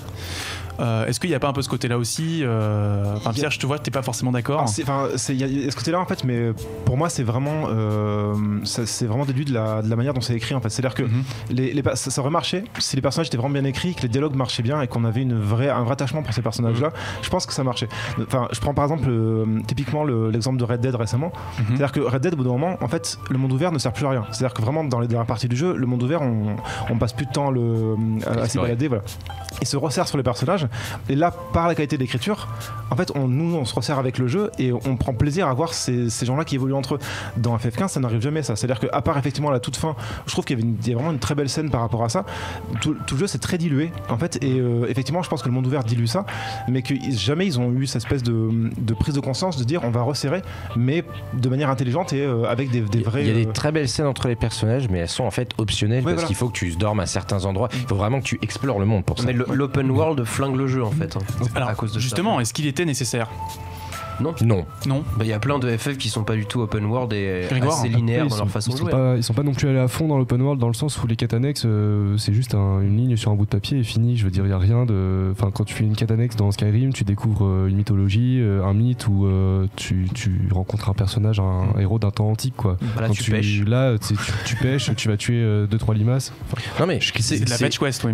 Il y a beaucoup de fetch quest, mais effectivement, bah, comme les- le coup des flageolets, c'est de, c'est non mais mine de rien, c'est, non mais c'est- on en est à ce niveau-là. Là-dessus, sur l'écriture des quêtes, il y a pas, il y a- y a, pas beaucoup à sauver. Mais il y a, il y a- il y a les personnages. il Y a, et alors là, après, effectivement, c'est si on adhère à ça, on va. Moi, je sais que je l'ai fait le jeu en 47 heures, donc euh, je l'ai fini en 47 heures. Du coup, j'ai beaucoup. aidé. Mais on peut pas reprocher aux gens qui n'ont pas adhéré au personnage de pas adhérer au jeu, puisque finalement, c'est la, c'est la glu qui fait que ça prend ou ça prend pas. Alors moi je serais un peu moins catégorique, c'est-à-dire que je, je pense qu'effectivement le monde ouvert au final est pas forcément réussi et du coup laisse un, un goût d'inachevé, mais je, en fait je vois, enfin j'ai l'impression de voir ce qu'ils ont voulu faire, c'est-à-dire qu'ils ont voulu euh, améliorer la manière dont on perçoit les personnages en, en les intégrant à tout ce qu'on faisait, y compris sur les quêtes annexes. Il y a quelque chose qui est assez intéressant dans FF15 et, et ça pour le coup j'espère que c'est quelque chose qu'ils garderont plus tard, c'est c'est tous ces petits dialogues en fait Ouais, qui ils servent sont- à rien cool. pendant les combats. chouette, hein. Et ça apporte un truc, ça donne une épaisseur aux personnages, presque plus que les scènes où ils sont censés être développés. Euh, le fait qu'ils se fassent des vannes entre eux en se battant contre un monstre qui parfois tombe à plat parce que c'est généré de façon un peu. Ils, ils réagissent à toutes les quêtes. Ils réagissent à tout. Et, ça, tous les commentaires en fait sont plus intéressants que les quêtes elles-mêmes. Oui. Les quêtes sont juste un support pour ça. Et s'ils arrivaient à faire ça en ayant en plus une vraie, une vraie trame, une vraie ligne avec des quêtes intéressantes et tout, il y a moyen de faire quelque chose de, de super. Le souci en fait, c'est que avoir ces petites lignes de dialogue, c'est pas c'est pas assez pour t'encourager euh, Oui, voilà. à, Bah, ça- à faire ça- les quêtes annexes. Ça, ça dépendra de chacun. Et ce sont des coûts de production quand même assez élevés. S'il faut doubler ça dans toutes les langues. C'est ce qui Bah, c'est ce qui s'est passé en plus. Oui, mais Euh, justement, mais si s'ils doivent donc, euh, refaire ça, euh, bon, et s'ils Ils doivent ont, mieux ils ont pas pris des mauvais doubleurs en plus. Donc non, ils l'ont bien vraiment mis en avant bien d'ailleurs fait. parce que les, enfin, pour les avant-premières et tout, les doubleurs de chaque langue étaient présents. Enfin, le- moi j'ai vu l'avant-première française de Kingsglaive par exemple, tous les doubleurs français étaient là. Enfin, c'est très bonne vraiment, euh, ouais, c'est vraiment très très bien Même si les, les doubleurs du jeu et les doubleurs du film ne sont pas Ils les mêmes, et du coup, il fallait avoir les droits des doubleurs du film pour les mettre là-dedans, ce qu'ils n'ont pas pu avoir finalement. Oui, parce que FF15, ce n'est pas Game of Thrones, on rappelle. hein. Et non. Eh non. Euh, Et non, donc, euh, on bah, c'est peut-être une petite question de, de- de fin de première partie de débat. Euh, on voit qu'il y a quand même pas mal de, de péchés d'orgueil dans cette histoire. Est-ce que FF15 euh, n'est pas le symptôme de. Enfin, voilà, plus largement, est-ce que FF a toujours vocation à être le maître étalon? Bah non. du jeu vidéo, du JRPG ou du jeu vidéo contemporain Est-ce qu'il peut encore le faire Bah, Non, mais ils essayent plus. Oui, oui, En fait, je ils que pas déjà en fait. Mais est-ce que FF15 a essayé? C'est ça la Je question. suis même pas sûr. Je Bah, pense que. Est-ce que, le- tu peux dire qu'ils ont essayé quand ils ont repoussé la date de sortie? On sait tous très bien pourquoi. Ouais, Mais c'est pas ça, c'est quand ton Persona jeu il 5, commence voilà, par tu un- sorti en même temps que pour te Persona le 5. dire, voilà. Ouais. quand ton jeu commence par un jeu pour les fans et pour les nouveaux, tu te rends bien compte que t'es pas là pour faire un. C'est c'est juste pour essayer de rameuter un peu de gens et te, te faire Non, mais- découvrir l'univers. Bah, T'es ça- pas là pour faire un, C'est truc Pierre gigantesque. Mais c'est c'est qu'en plus, enfin, même quand tu vois le, la manière dont il était sorti, c'est-à-dire que Tabata était embauché pour finir le truc. Mm. C'est-à-dire que c'était même pas pour essayer de, de, de, de faire un produit quelque euh, chose. de, de qualité, Juste c'était faut le juste pour finir, faut le terminer. quoi. Et donc, c'est- ça, ça, ça dit bien ce que ce qu'est ce qu'est le jeu à ce moment-là. Ouais. Ça le rend attachant aussi, du coup. Oui. Dans un sens. C'est ça, mais c'est c'est- cette espèce de gros projet raté, euh, Exactement. mais qui, au final, euh, il y a des intentions, il y a des trucs. Mais C'est le mauvais élève, mais il est cool. Tu l'aimes. Bon, bah, après avoir abordé euh, le jeu euh, dans sa substantifique moelle, on va revenir après sur euh, de quoi, disons, euh, l'écosystème Square Enix et ce vers quoi il se dirige dans la deuxième partie du débat. Pour l'heure, on va s'écouter eh bien, Stand By Me, le générique de fin de FF15, interprété par Florence and the Machine. A tout de suite. De retour dans Hyperlink, votre cocktail de BE de pixels, toujours spécial bilan de FF15 avec Jonathan qui se dandine comme un poisson dans l'eau cette fois-ci. Une espèce de vague comme ça, C'est je fatigue. c'est nouveau. Ah, tu fatigues Ouais. Oh, bah attention, euh, on a encore euh, une Non bonne mais demi-heure à je tenir, suis hein. fatigué. Je suis pas fatigué pour le débat, bien sûr. Ah, très C'est bien. FF15 qui le fatigue. Bon, bah, attention, hein. Non. Bon, alors c'est parti pour la deuxième moitié du débat si vous le voulez bien. On a pas mal parlé du jeu en lui-même et on va dire euh, essayer de retracer un petit peu les, les germes de, de son dysfonctionnement. Maintenant, on va se pencher un petit peu sur les conséquences que peut avoir FF15 euh, sur l'avenir du JRPG et de Square Enix en tant qu'acteur de, de- de- de ce genre. Euh, J'aimerais qu'on se penche sur la question du game as a service, euh, parce que du jeu service. Il faut rappeler que le jeu est sorti en 2016, que dans son bilan financier en 2017, Yosuke Matsuda, le patron de Square Enix, s'est dit que bah, finalement c'était peut-être pas si mal d'aller chercher du côté du jeu service. Je cite Le jeu service est un concept auquel on se réfère souvent à l'ère des jeux HD, l'époque où les jeux solo reléguaient les jeux multijoueurs au second plan est révolue. Les expériences multijoueurs tiennent désormais le haut du pavé et les jeux vidéo sont désormais conçus pour être appréciés sur une plus longue période. Nous nous engageons à développer des jeux qui ne seront pas simplement joués une fois après leur sortie, mais que les consommateurs pourront apprécier davantage et plus longtemps. Par ce biais, nous pourrons davantage satisfaire nos consommateurs comprendre les actionnaires et améliorer la durée de vie des jeux. Donc, est-ce que FF15 est le dernier clou dans la vision solo de Square? En gros, c'est ma question. En tout cas, leur truc, ça a marché. J'ai jamais acheté les DLC, j'ai jamais relancé le jeu. Bon, ça c'est dit. Grégoire, tu voulais. euh, Euh, ce qu'il y a sur, sur FF15, la manière dont ils ont écrit l'histoire à l'origine, enfin perso, je sens, enfin j'avais l'impression que bah quand ils nous filent un DLC sur Prompto, un sur Gladiolus et puis un sur euh, c'est quoi, c'est Idris. C'était kit, c'était kit narratif. Ce- Cela, c'est- je veux dire, la logique veut que n'importe quelle personne qui a fait des études pour écrire une histoire euh, ne n'enlève pas le background de trois des quatre personnages principaux de son histoire en fait. Donc si ça a été fait comme ça, voilà, c'est pour une histoire de thunes et ils avaient anticipé le fait de tiens, bon, on va balancer un DLC, on va balancer un autre DLC, on va balancer un autre DLC.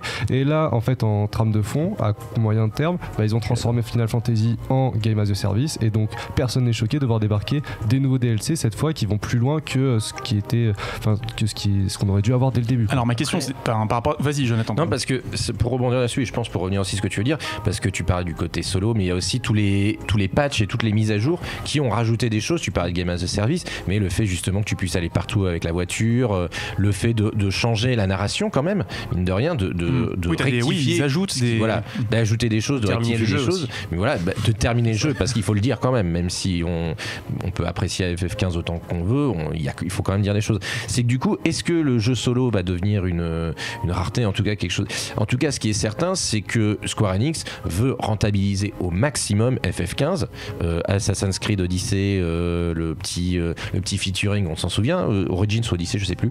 Euh, je crois que c'était euh, je crois que c'était Origins. Origins, ouais. Origins. Mais c'est c'est ça, c'est le côté. Comment est-ce qu'on fait pour rentabiliser au maximum? Square Enix voit que les jeux multi drainent énormément d'argent. Donc c'est sûr que dans leur tête, ça, ça doit, ça ne peut que jouer. Ce que tu dis en filigrane, c'est peut-être que FF14 a sauvé FF15.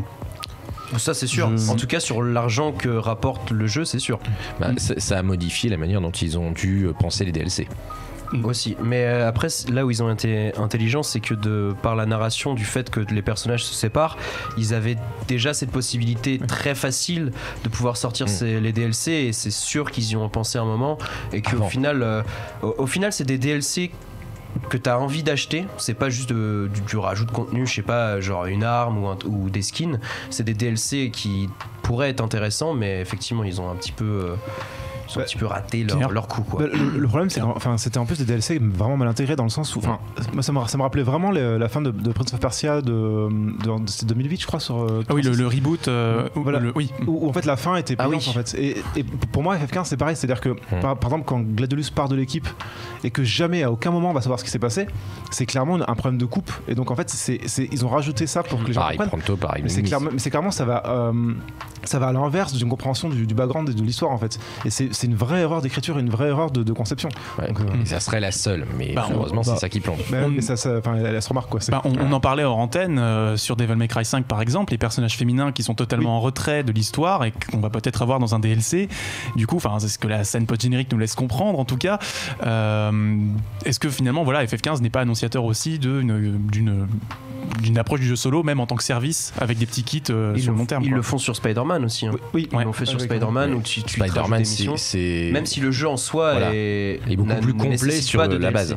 Ouais. T'as pas de. Sauf, que FF15 euh, l'a fait avec ses personnages principaux. Voilà, c'est ça. C'est ça. enfin, alors, soit ils ont été totalement conscients et ils ont voulu tenter le pari, mais c'est quand même. euh, C'est sûr. Enfin, Oui, c'était quand même, c'était un mur, quoi. Ils en sont conscients. Gladiolus, il revient, il a une cicatrice sur l'œil. Donc Mm. en fait, le jeu est en train de te dire, bah, il s'est passé un truc de fou, Et tu le mais sauras pas. tu ne sauras pas, sauf si tu payes. Mais ce qui est Ouais. étrange, a c'est que quelque chose qui peut marcher ou qui a marché dans le cinéma, dans les séries, dans les choses comme ça. Notamment Marvel fait ça très très bien. Euh, D'avoir euh, euh, dans Avengers par exemple, on peut avoir un personnage qui a disparu, qui revient, et on sait qu'il y a eu un film euh, qui racontait l'histoire de pourquoi il était parti. Et au ciné, ça marche. Enfin, en tout cas, moi je trouve que je- ça fonctionne pas trop mal et ça crée du lien entre les différents trucs. Mais sauf que dans le jeu vidéo, euh, déjà il y a un truc tout bête, c'est que c'est quand même, bah, ça coûte beaucoup plus cher que d'aller voir, euh, une, de regarder une série, d'aller euh, voir, d'aller au ciné. Donc on commence à réfléchir à deux fois en se disant est-ce que j'ai vraiment envie de savoir et de payer euh, 15 15 ou 20 euros pour savoir où machin a eu sa cicatrice. Oui, Euh, bah, bon, c'est compliqué quoi. Surtout que là, il y a aussi ce qu'il y a devant moi, c'est-à-dire Kingsglaive, film. qui fait partie du transmédia que les Japonais aiment beaucoup, qu'ils essaient de développer à chaque fois sur les FF, et là, FF15 n'en fait pas, enfin, ça en fait partie. Et surtout, le problème, c'est comment tu fais quand tu es Square Enix, que tu veux, c'est vrai ça le problème, en fait, rentabiliser au maximum, mais pas juste sur le jeu, mais sur le produit, c'est-à-dire sur les figurines, sur tout ça. Donc, à quel point ce- cette considération marketing, cette considération pécuniaire, elle influe sur ton histoire, en fait. Sa- Sachant qu'en plus, c'est euh, c'est, euh, conçu en partie sur des éléments retirés de FF15. c'est Parce qu'ils ne pouvaient pas finir la production, ils ont mis, bah, en fait, il y a des scènes euh, clés qu'on va mettre dans un film à côté pour essayer de raconter l'histoire, mais quand t'es vraiment retiré du jeu à la base, en fait. Voilà. euh, Et tout un background là-dedans qui n'apparaît pas du tout dans le jeu. non, non. Et qui d'ailleurs, en, en plus, se, se spoil lui-même parce que, hum, par exemple, le personnage d'Ardine, je reviens sur le, sur le DLC, mais Oui, oui. quand on a vu le film, on sait très bien qui c'est. Et dans le jeu, pendant 20 heures, il fait haha, mais qui je suis Mais en fait, on sait très bien que t'es le méchant, on a vu le film, en fait. Ouais, si t'as vu ça le film, pas. tu sais qu'il a tué le père, Ouais, je l'avais pas vu. Mais euh, moi, ce que, moi, ce que je trouve, euh, ce que je trouve assez gênant avec ces DLC, te- tu le disais tout à l'heure, enfin, c'est, c'est quand même la- le moyen de, les moyens de production, c'est un jeu vidéo. Euh, quand tu es dans un Final Fantasy, que déjà dans ton histoire principale, euh, le plus important, on, on le disait, les Final Fantasy, c'est la relation entre les persos, où tu as des Mm. persos qui se séparent, et qu'au final, c'est en DLC, ça veut dire que ça sera pas un jeu, ça sera juste une expérience courte. Eux, ils vont pas mettre euh, 4 milliards sur le truc parce que c'est un DLC, donc tu vas pas l'acheter cher. Donc tout ça va faire que tu sens qu'ils vont pas y aller à fond pour euh, parler de quelque chose qui est extrêmement important parce que c'est quand même les personnages principaux et moi ça m'a totalement refroidi de se dire que ton histoire elle est en kit et que Non, ils auront sûr. pas les moyens en plus euh, financiers et techniques pour te- t'en pour t'en mettre plein les yeux ben ça donne pas du tout envie Surtout qu'il y a aussi autre chose. Enfin, je parlais du côté, euh, du côté argent, mais il y a le côté temps investi aussi. C'est Ouais, quand on a sûr. déjà passé des dizaines d'heures sur FF15, euh, qu'on voit un DLC arriver euh, quelques mois plus tard et tout. Enfin, même en ayant beaucoup aimé un jeu, moi, ça m'arrive des fois de voir passer un DLC et de me dire ouais non mais j'ai pas, enfin, j'ai pas envie de m'y replonger. Là, retourner, je- j'ai- sûr. j'ai- j'ai fait trop de- Parce que Ouais, sur. Wild, par exemple, m'a fait ça. Les DLC, je, je les, je les ai pris.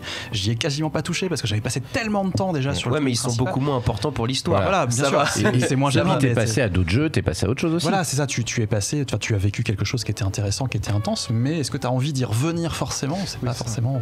Bah, c'est pour ça que final, que ce qu'il disait, que rendre, euh, rendre un Final Fantasy euh, beaucoup plus euh, pérenne dans le temps, c'est pas possible. C'est des expériences qui sont assez. Ça demande tellement de temps et d'investissement que c'est quand même. euh, Sauf à le penser en online, typiquement, parce qu'on on n'a pas trop. Oui, on, bien y- sûr. on- on tourne autour de FF14 depuis tout à l'heure, mais mine de rien, c'est quand même lui qui rapporte, qui fait, qui rapporte l'oseille au final. Comme, euh, comme FF11 avait rapporté l'oseille euh, par rapport à de la même FF12. manière. oui, euh, Voilà. Non mais tu, tu vois, c'est intéressant. Ça veut dire quand même qu'on retourne à ça. On retourne sur l'idée que Square a une mythologie, a vraiment plein de choses pour faire des univers et que avec FF11 et maintenant FF14, ils arrivent à avoir ça sur la durée et avoir des gens qui sont contents. Et à revenir de très très loin aussi. Voilà. Pour Ouais, c'est FF14. Pour le coup, ils mettent, ils mettent aussi beaucoup les moyens hein, parce que C'est ça. euh, pour connaître Mais- un petit peu euh, les choses, ils y mettent vraiment les moyens. Ils rajoutent du vrai contenu. Ils ont aussi pas mal rectifié le tir. Mais c'est ça en fait, c'est qu'ils sont remis en question. Ouais. C'est qu'ils sont remis en Au question. début, et- les personnages parlaient et- pas. Voilà. Ils ont tout refait. Ils ont refait des. C'était Ils n'ont pas fait preuve de, ce- de cette arrogance dont tu parlais, Karel, finalement. C'est-à-dire qu'ils se disent, bah ok, là, les choses ont changé, les goûts des joueurs peuvent changer aussi. Qu'est-ce que nous, on peut faire pour se moderniser, se moderniser pardon, se mettre à la page? Et euh, c'est ce qu'ils n'arrivent pas encore à faire sur le FF et sur le JRPG. C'est-à-dire, qu'est-ce qu'on fait un, comme JRPG euh, solo qui marche et qu'est-ce qu'on peut faire à côté pour gagner des sous c'est- c'est- Ce qui est compliqué, c'est qu'en plus, ils, ils courent après, après la rentabilité depuis des Ouais. années. C'est-à-dire que depuis l'échec de, des créateurs de l'esprit, Ouais. en fait, ils essaient juste de rattraper tout ce qu'ils ont perdu au fur et à mesure. Et ça, comme en plus vrai. ils ont mal négocié le passage à la PS3, ils rattrapent ça aussi. Enfin, ils courent après un truc depuis des années. En fait, c'est ça aussi qui est compliqué. Disons oui, c'est bah tu mais je te remercie de mettre la transition sur la table, euh, mais euh, faut rappeler effectivement que les créatures de l'esprit, euh, film avec un budget absolument faramineux, 137 millions de dollars et encore je crois que c'est revu euh, un petit peu à la baisse. Ah oui, parce qu'il y a eu l'inflation depuis, c'est, ça Voilà, monte à plus il a 200. rapporté que 85 euh, total, donc gros gros gros gadin. Euh, c'est pour ça d'ailleurs qu'on n'a pas les budgets sur Advent Children et Kingsglaive. hein, J'ai cherché, je les ai pas trouvés, euh, mais effectivement, ça aboutit à la fusion, enfin disons à l'acquisition de Square par Enix. On laisse Square devant quand même parce qu'il faut quand même pas déconner. Mais effectivement. Est-ce que Square finalement court pas après une erreur du passé euh, et devrait pas tout simplement tourner la page en fait Est-ce que Square a vocation à faire du cinéma? Bah, plus globalement, moi je dirais que le cross-média a montré que c'était une erreur depuis quelques années, mais, mais une énorme erreur même. C'est transmédia, ouais. C'est lié, c'est lié à plein de choses, notamment le fait que euh, c'est tenter de s'adresser avec une même histoire à Mhm. plein de publics différents en leur donnant à chacun un truc différent. Et que c'est pas possible parce que les gens qui vont au ciné sont pas les gens qui jouent, enfin sont pas Bien sûr. forcément les gens qui jouent, les Sont gens pas qui les jouent gens sont qui pas lisent. forcément les gens qui regardent des animés, les gens qui regardent des animés sont pas forcément ceux qui lisent. Enfin, c'est évidemment qu'il y a des il y a des moments où ça se croise et, et voilà, mais mais c'est pas possible de penser à un. En tout cas, il, faut offrir à chacun un univers complet, quelque chose qui soit fini et pas euh, pas quelque chose de, dispersé. Euh, parce que je, voilà, enfin Kingsglaive par exemple, je sais pas, euh, il y a peut-être des gens qui sont allés le voir en n'ayant jamais joué à un Final Fantasy et qui auront jamais joué à FF15 après et qui auront rien compris. Et à l'inverse, comme on disait tout à l'heure, jouer à FF15 sans avoir vu Kingsglaive, parfois c'est euh, ah ok ça Voilà. on n'en parle pas du tout. Enfin, Ou alors qui auront vu Kingsglaive, qui auront apprécié, mais qui n'auront pas du tout envie de se fader un RPG de 40-50 heures.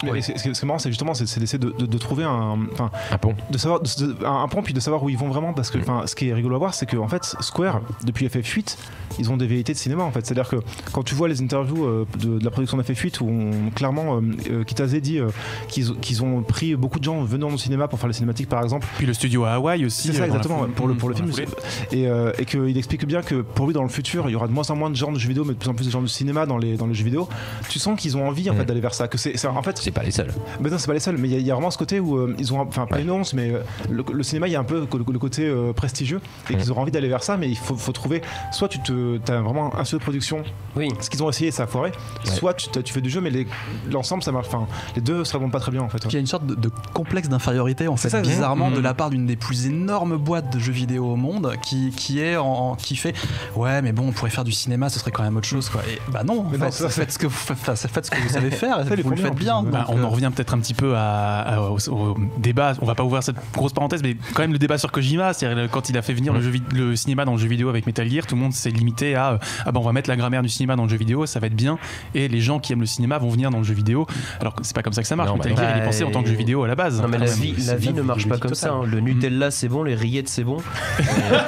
bah non mais c'est- tout con mais, mais Oh, j'ai une, image de, que- une image de cauchemar dans la tête. tu peux prendre des gens pour travailler dans d'autres milieux si tu les guides parce que tu es dans un t'es dans quelque chose de fermé et un produit fini particulier, encore une fois, fini, tu peux pas, tu peux pas te permettre de, de faire n'importe quoi, juste en surtout fait. que Square en plus, enfin Square Enix euh, ou Squaresoft avant, était vraiment spécialiste de ce côté. euh, on vous offre un truc et c'est c'est un paquet cadeau gigantesque avec tout dedans. Ouais. Vous- Et puis c'est long, c'est. aussi Ouais. que depuis, enfin, au début, les, les JRPG, notamment bah, les FF, ils- effectivement, ils avaient cet aspect de jeu total qui te raconte une grosse histoire, une histoire épique, mais en plus tu joues, t'aimes bien, t'as des quêtes annexes, donc t'as ce côté. toi. Mais il y a beaucoup de jeux qui font ça et il y a des jeux qui font ça autrement. Donc là, sur la suite, sur FF16, qu'est-ce que tu fais pour, euh, qu'est-ce que tu fais pour innover, qu'est-ce que tu fais pour te remettre en question quoi on, en est, on en revient toujours à ça. Hum, Bah justement, euh, vu que tu me tends la, transition, décidément, qu'est-ce que vous êtes sympa aujourd'hui? Euh, c'est quoi vos attentes pour FF7 qu'est-ce, que Square peut faire de FF16 après ce qui s'est tout dé- déroulé avec FF15, on imagine que le, le retour d'expérience sur FF15 doit être euh, conséquent, il doit y avoir beaucoup Ah de oui. notes, de rapports sur les modèles économiques, parce qu'on n'a pas eu le temps d'en parler, mais il y a eu beaucoup de, de, de- de- de petits jeux dérivés de FF15 aussi, avec des microtransactions, Pocket des modèles économiques aussi. différents, etc. Je me souviens de Dream Boom de jeuxvideo.com euh, qui avait fait un article sur euh, FF15 n'est qu'en fait une espèce de, de perdu pour perdu. On va jeter tous les modèles économiques qu'on n'ose pas mettre dans un jeu vidéo sur FF15 et on va voir Ah, si ça marche. Et euh, est-ce que c'est est -ce c'est ça Il y, a, les euh, retours d'expérience sur ça, mais il y a aussi les FF16? retours d'expérience depuis 2016, depuis que c'est sorti, sur le JRPG en général. Parce que depuis, sans même parler de Persona 5, parce qu'on en parle beaucoup, mais regarde juste Nier Automata, regarde même quelque chose comme euh, Dragon Quest 11 Dragon Quest 11, Octopath Traveler. Il y, a un public pour ça, il y a un public pour le JRPG ancien ou avec enfin il y a y a des gens qui sont encore adeptes de ça. Ça n'est pas mort. Maintenant est-ce que tu arrives à le reporter à refaire venir des gens dessus quitte à le moderniser et quitte à donner un habillage un peu différent? Mais voilà ce- c'est pas un genre qui est mort comme on aurait pu le croire. Et il y a des là compris au niveau japonais il y a eu des gens quand même pour le, le porter. Maintenant qu'est-ce que tu enfin même Kingdom Hearts là finalement c'est- moi j'appelle ça un JRPG mais si Oui. c'est un RPG c'est différent. Donc il y a quand même des gens dessus.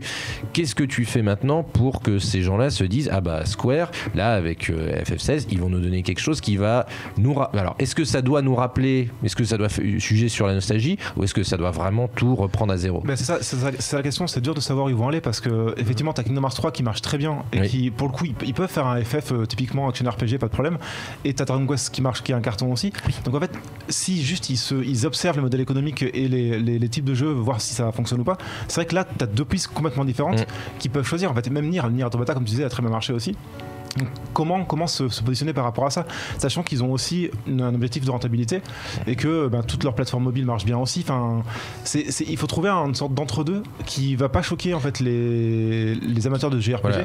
tout en ces il faut que ça soit rentable mais est-ce que c'est forcément maintenant encore quelque chose qui doit être une vache à lait? Ben, c'est, une marque en fait, c'est leur, grosse marque. C'est Grégoire. Euh, Après, ce qui joue aussi ici, c'est en termes d'idéologie. le- Les JRPG euh, de- des dix dernières années, c'est majoritaire, enfin les plus gros, c'est majoritairement des JRPG euh, occidentaux, Mm. dans le sens Euh, où des RPG RPG occidentaux, dire, Oui, enfin, bref. RPG japonais occidentaux. Pardon. Oui. Euh, c'est majoritairement des jeux euh, occidentaux qui, euh, ben, enfin, c'est Skyrim, Witcher ce que 3, disait, euh, Tito tout à l'heure, c'est que dans un, un jeu comme ça, avec une vision japonaise, c'est que ben, ta, volonté de joueur est mise à mal au début parce que même si euh, le, jeu en théorie sur le papier te promet monts et merveilles avec euh, des tonnes d'activités, là tu te retrouves pendant, euh, allez bien 7-8 heures au début de Final Fantasy XV en dehors en fait de la quête principale, en dehors, enfin loin des combats et loin de l'endroit où tu as envie d'être, t'es juste avec tes potes. c'est ça C'est cool les vacances, mais bon, il y a la fin du monde qui approche, t'as envie de. Enfin, t'as payé quand même 70 balles pour être dans Ouais, les mais c'est mais- bien. Mais, dans Witcher, mais, mais rien ne t'empêche dans Witcher 3 de faire toutes les quêtes annexes aussi Mais sans faire avancer le scénario. euh, c'est un, un dire. argument que je te dans, renvoie. The- dans The Witcher 3, il y a une multitude de quêtes annexes qui sont là pour bah, rassurer, conforter et faire plaisir aux joueurs en fait. Et Et puis surtout, The Witcher 3, les quêtes annexes sont extrêmement bien Oui, écrites. voilà. Il y a Voilà. des fois des quêtes annexes qui sont plus intéressantes que la quête Et, principale. et certaines sont liées à la quête principale, ou du moins tu retrouves des choses qu'après et qui on pourrait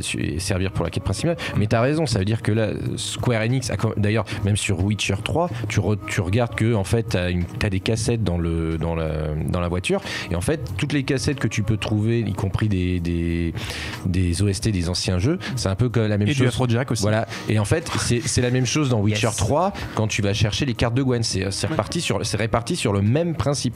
Et d'ailleurs, c'est un peu le cas aussi quand tu, le- la manière dont tu appelles le Chocobo, c'est un peu la même chose que quand, Ablette, Ablette- que quand tu appelles Ablette dans Witcher 3. Donc il y a eu des choses qui ont été reprises. Et c'est ça parce qu'il y a, y a eu des problèmes techniques avec les JRPG, des, pas mal de choses qui fait que pendant la, la génération euh, 360 PS3 et un peu le début de la PS4, ils ont, ils ont été en retard. Mais là, justement, est-ce qu'il ne faudrait pas qu'ils s'inspirent justement, bah, disons, enfin, là je vais le dire, de Persona 5 et de son, euh, de son système de tour par tour qui te dit, bah oui, le tour par tour euh, en, à l'époque moderne, oui. Là, il y en a qui se marrent parce que c'est moi qui fais le. Tu fais, tu fais, tu fais ma, tu fais ma- 5. la Voilà. à ma place. Mais non, mais, mais je suis très sérieux. Ça veut dire qu'il y a- il y, a des C'est ça pistes. le problème. Je suis très sérieux, mais ce n'est pas un problème. Non, mais il y a des pistes pour FF en dehors de, des, des, des influences occidentales. Ça veut dire quand même qu'il faut faire un, beaucoup de travail sur soi. euh, Voilà. enfin, euh, Olivier. Euh, moi, si je devais donner un conseil à Square Enix là-dessus, et ça va paraître paradoxal, c'est n'écoutez pas les joueurs, en fait. C'est-à-dire que je pense que ce qui a planté FF15 en grande partie, c'est les retours sur FF13, et on a des fois l'impression qu'il y a des moments entiers de gameplay qui sont faits pour faire l'inverse de FF13. C'est-à-dire que ça, ça complètement. n'a pas plu, ouais. on le garde pas. Ça, ça a plu, on le fait à fond. Et pareil, le cross-média et, et l'idée de faire les choses, c'est pareil, c'est essayer de penser à la place des joueurs. Je pense que si on veut faire un FF16 réussi, il faut faire comme pour ceux qui ont très bien marché précédemment, il faut le confier à quelqu'un de confiance, enfin vraiment le donner à quelqu'un, à un créateur, Confiant. et lui dire tu fais ce que tu veux en fait. Tu fais, tu pars sur ces bases-là, euh, mais tu fais ce que tu veux à Mais partir de c'est surtout que, encore une fois, ils doivent pas s'ins- s'inspirer de ce qui est fait à côté. C'est pas grave, on vous en vous en rend pas si c'est pas un open world, euh, si c'est du tour par tour. On, on le voit, ne serait-ce qu'avec Octopus Traveler, les mecs sont arrivés, on fait bah voilà, on vous fait des petits personnages en 2D et tout, et c'est bon, ça marche, c'est cool. Et effectivement, ça trouvera, ça se retrouvera forcément son public. Et après, encore une fois, s'ils veulent faire pour tout le monde, euh, il faut faire des concessions. Et peut-être faire preuve de davantage d'humilité, ne plus faire des grands chantiers pharaoniques en disant bon moi les gars voilà Aussi. comment voilà comment on bosse, Aussi. voilà comment voilà comment on fait, voilà comment on écoule 10 millions d'exemplaires. Spoiler non 8. voilà. Non, mais, euh, Pierre, euh, qu'est-ce que tu attendrais d'un FF16 Ben, euh, ben, justement, qu'ils ils se remettent en question sur euh, comment concevoir un FF. Enfin, Mhm. tu, tu- tu le vois en fait justement quand tu t'intéresses vraiment à, à la série, tu as énormément de, de- de- de documents de, de conception de ces, jeux-là, et tu vois à chaque fois la manière dont ils réfléchissent et le- ce qui part d'un concept, qu'ils essaient de broder sur, sur les personnages, sur un, Mhm. sur un thème, un, un thème particulier. Et à chaque fois, c'est très, euh, c'est très viscéral en fait. Et là, FF15, comme tu disais tout à l'heure, c'est vraiment plein de bouts de trucs rassemblés Mhm. pour essayer de, faire un jeu terminé. Et pour moi, c'est ça, c'est qu'il faut vraiment qu'ils ils mettent des créatifs à la tête et plus euh, un- une volonté d'être rentable. Ce qui est normal dans, un, dans, une, mode, dans une mode de jeu vidéo, quoi. C'est c'est clair, il faut faire de l'argent et tout ça. Mais le, le problème, c'est que derrière ça, tu vas pas avoir de de vrai euh, développement à l'ancienne en fait. Et je pense qu'il faudrait revenir par cela. Limite, C'est ça. euh, limiter l'équipe, faire une équipe plus petite, Plus Et artisanale. voilà, c'est ça. Et Travailler dans le bon sens. Au exactement. moins sur l'écriture, quoi. Voilà, au moins sur Après, l'écriture. sur la question technique, il y a forcément besoin de beaucoup de gens, Ils mais sont au obligés moins sur même, même de le montrer, de- d'en faire un, un flagship, c'est c'est obligatoire. Mais voilà, au- au- quitte à faire plein de projets en fait, de, de projets annexes ou mais euh, avoir un vrai noyau dur qui fonctionne. Donc en gros, euh, bon, re- re- retour à Evalis, moi j'aimerais bien. Voilà. Euh, petit tour de table rapide en fin de débat. Euh, c'est quoi votre FF préféré? Voilà. obligé, obligé, obligé. Et là, on va se battre. Olivier. Euh, subjectivement, c'est le 7 parce Mhm. que c'est le premier que j'ai fait et que je, je- je vénère ce jeu, je l'adore. Mais, mais vraiment, je, je me rends compte que c'est c'est pas du tout objectif parce que euh, si je le regardais vraiment précisément en le décortiquant, Non, je me rendrais compte qu'il y a plein de choses qui sont pas bien.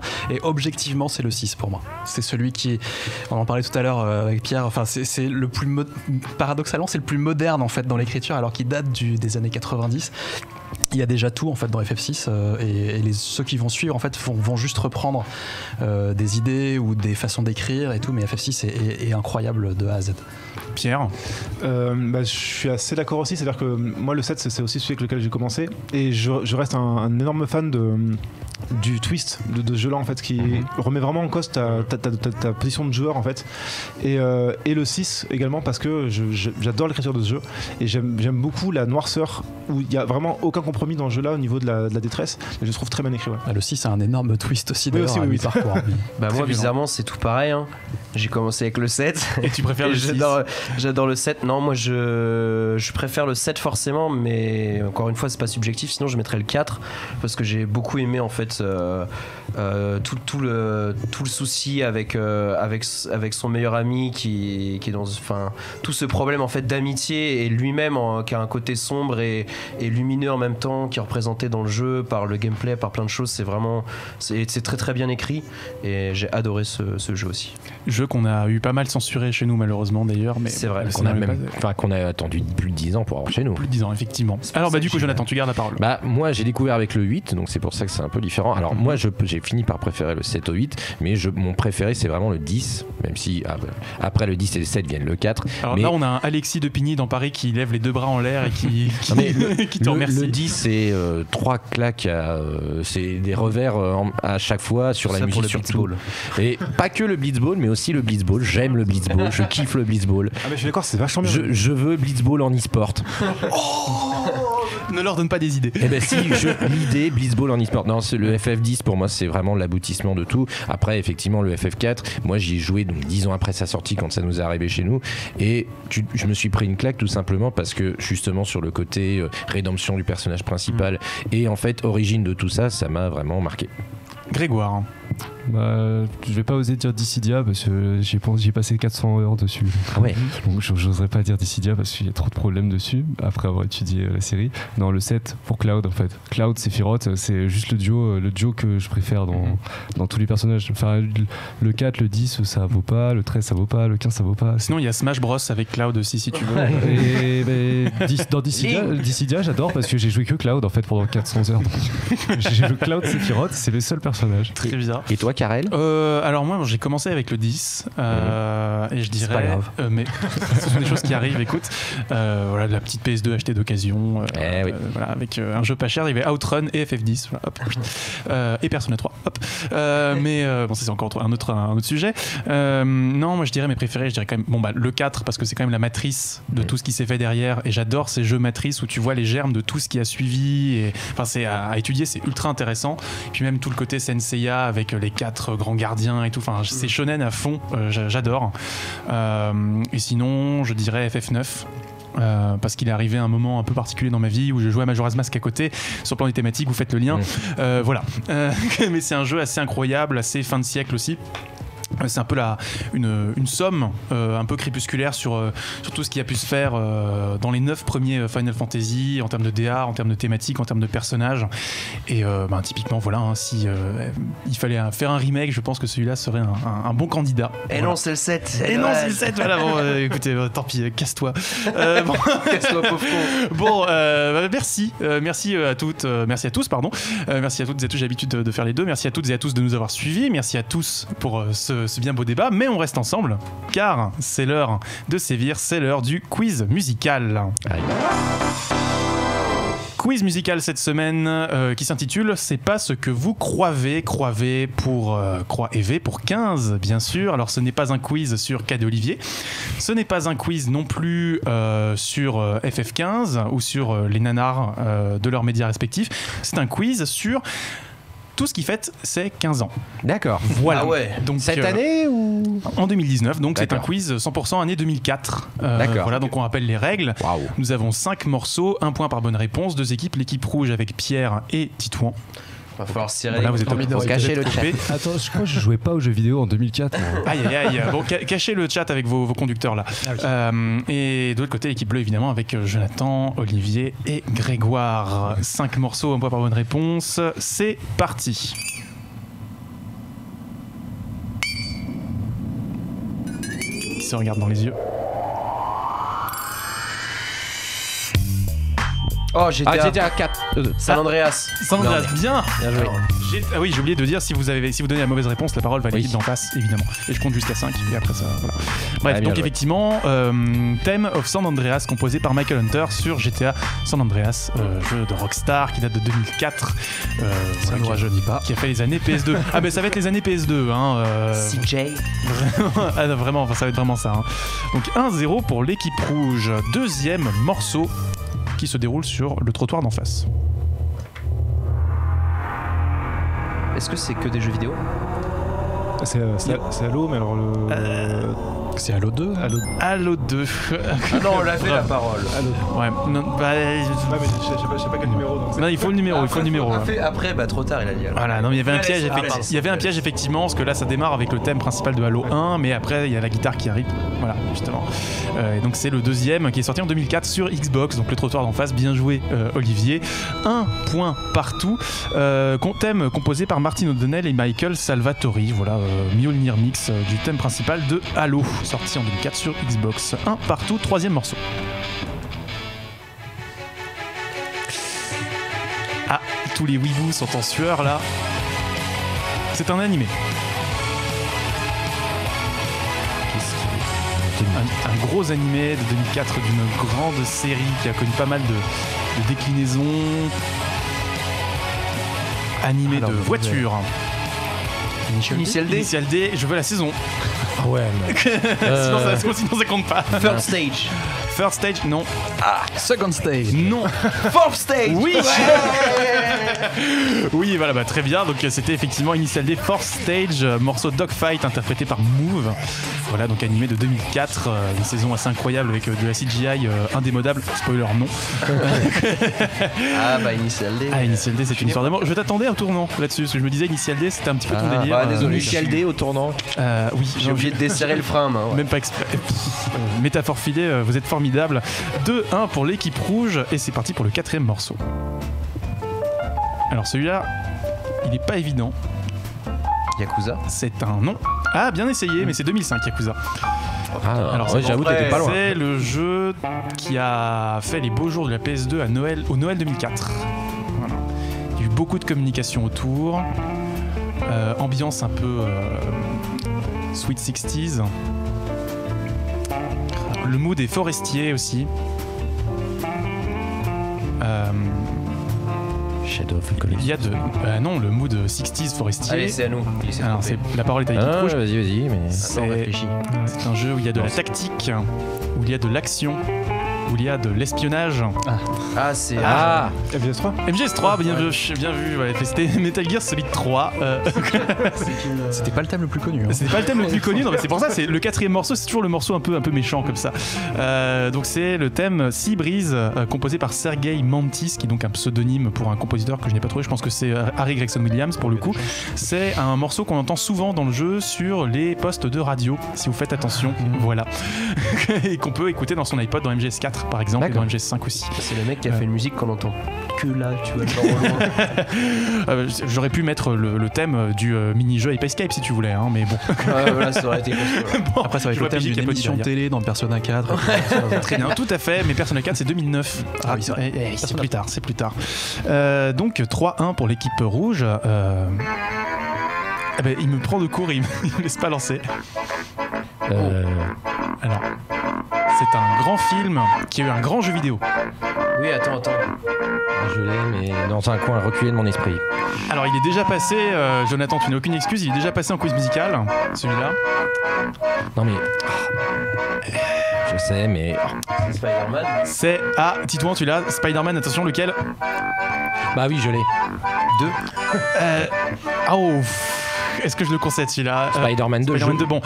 Euh, le, le- Ouais, le il a- timer, le timer était un il- petit peu méchant. Il a, il a. il Bon, non, non, attends. Quel timer Shifumi, non, mais avec mes doigts, mes doigts, c'est pas Ah très mais- voilà. Euh, donc, Non, non, Shifumi, mais- Shifumi, Ouais, c'est Shifumi, bon, allez, allez. gagné, Shifumi. Allez. Ah non, non, mais moi je l'accorde, hein, il l'a Oh il. Non, non, non, non, non, il connais mon Vous style, me le niquez, vous il a me niquez tous mes effets. Non, non, oh là non, là, il- bon. il, il faut savoir être euh, bon joueur là. Merci, parce Donc, c'était le thème de la pizzeria dans Spider-Man 2 Mais de oui. Activision. Voilà, c'était euh, Monster donc, Hunter. euh, c'était Oui, il y a c'était 15 jeu vidéo. Monster Hunter. Tu fais chauffer de la viande à barbecue, tu vois, avec ah, un et petit peu, un petit peu, effectivement. Euh, Il fallait arrêter pile à la fin de la musique. Donc euh, c'était les 15 ans effectivement d'un grand film, Spider-Man 2 de Sam Raimi, et 15 ans donc d'un très grand jeu aussi, le Spider-Man 2 d'Activision, un peu le GTA-like des super-héros, l'ancêtre de celui qu'on a eu cet hiver. Euh, donc c'était le hein. thème de la pizzeria composé, enfin commis plutôt par Michael McQuistion et Lola Ritmanis, qui est un arrangement, euh, ma foi, assez libre de, du euh, Funiculi Funicola de Luigi Denza. Euh, le saviez-vous euh, Morceau composé pour l'inauguration du funiculaire du Vésuve en 1880. Voilà. C'est donc sur ce score de 4 à 1 que se termine ce quiz musical. Bravo équipe rouge Merci, merci. C'est l'heure de recommandation. En avez-vous? Euh, Jonathan, tu, je te vois, je te vois sourire. je crois, je recommanderais bien un livre, mais je risque d'être un petit peu partial.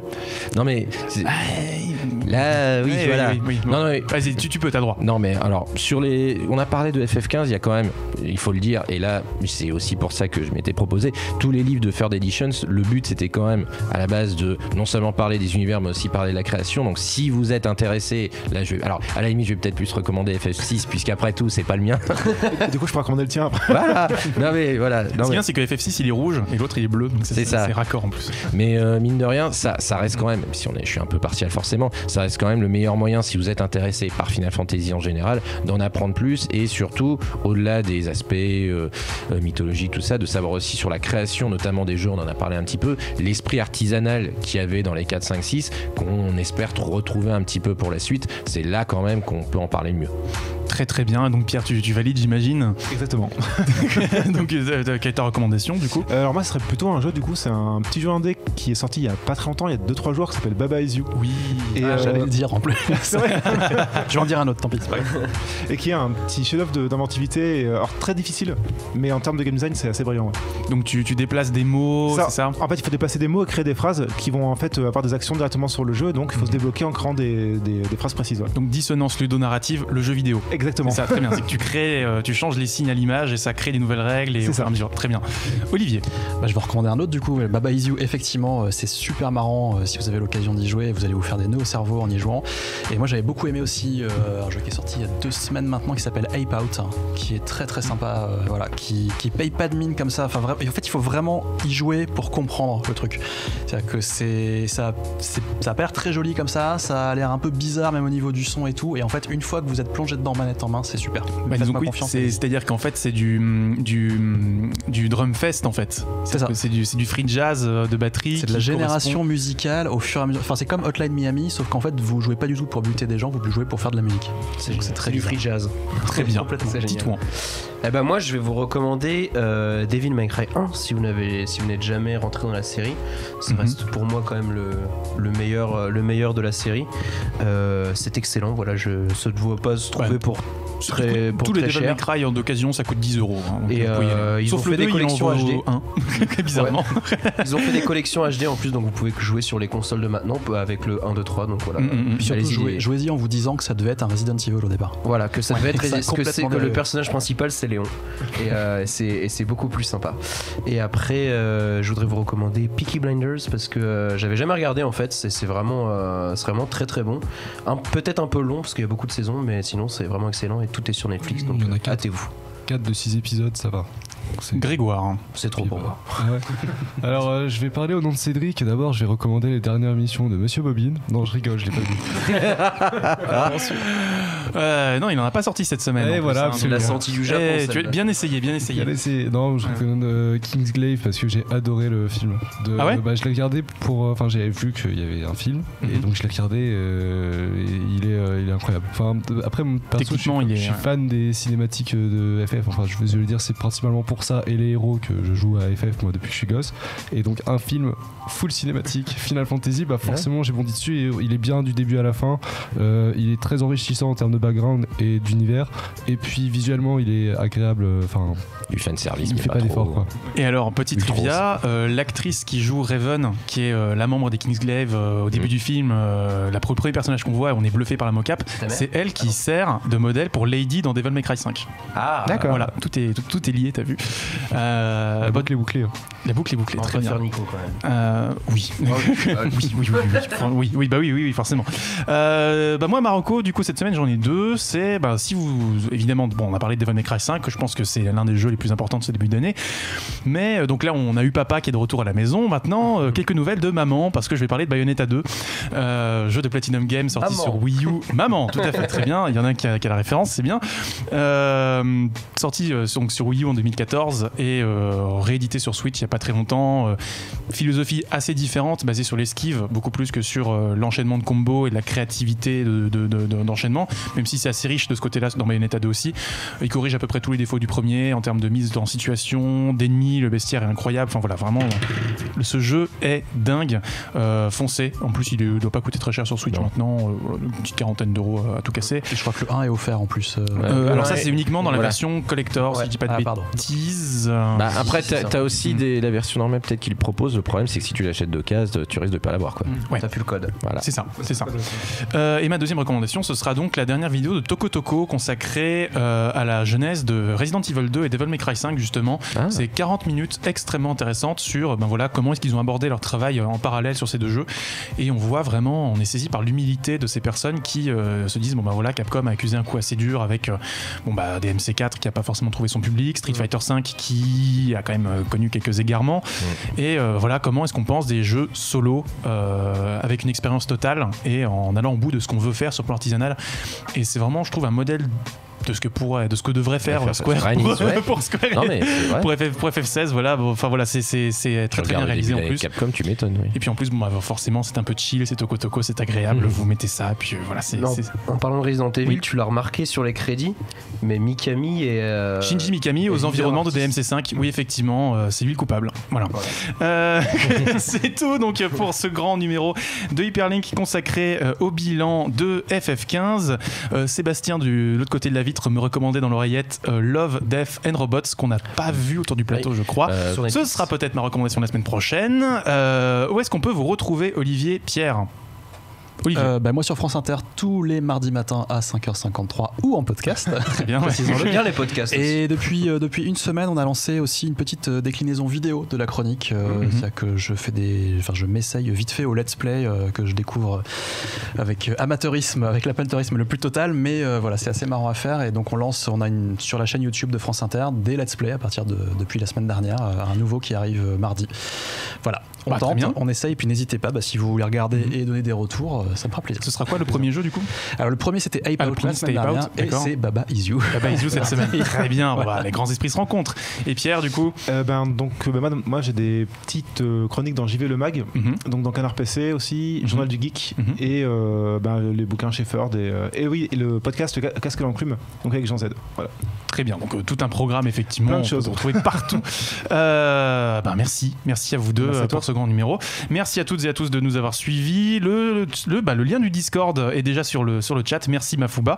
Euh, on se retrouve euh, du coup euh, la semaine prochaine et pour l'heure effectivement la phrase consacrée C'est la fin des choux Et c'est la fin de ce numéro 87 d'Hyperlink. On espère que ça vous a plu. N'hésitez pas à partager euh, sur les réseaux sociaux euh, l'émission, que ce soit le lien du live ou les liens des replays. Ça nous fait toujours plaisir. Rejoignez-nous sur Discord, du coup. Euh, le lien y est. Bah, tout le monde le poste en même temps, c'est parfait.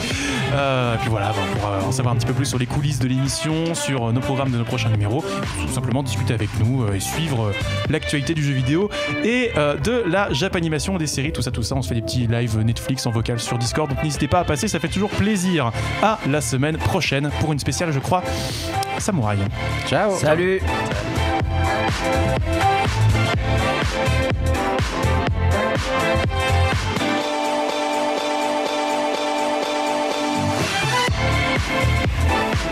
Jeux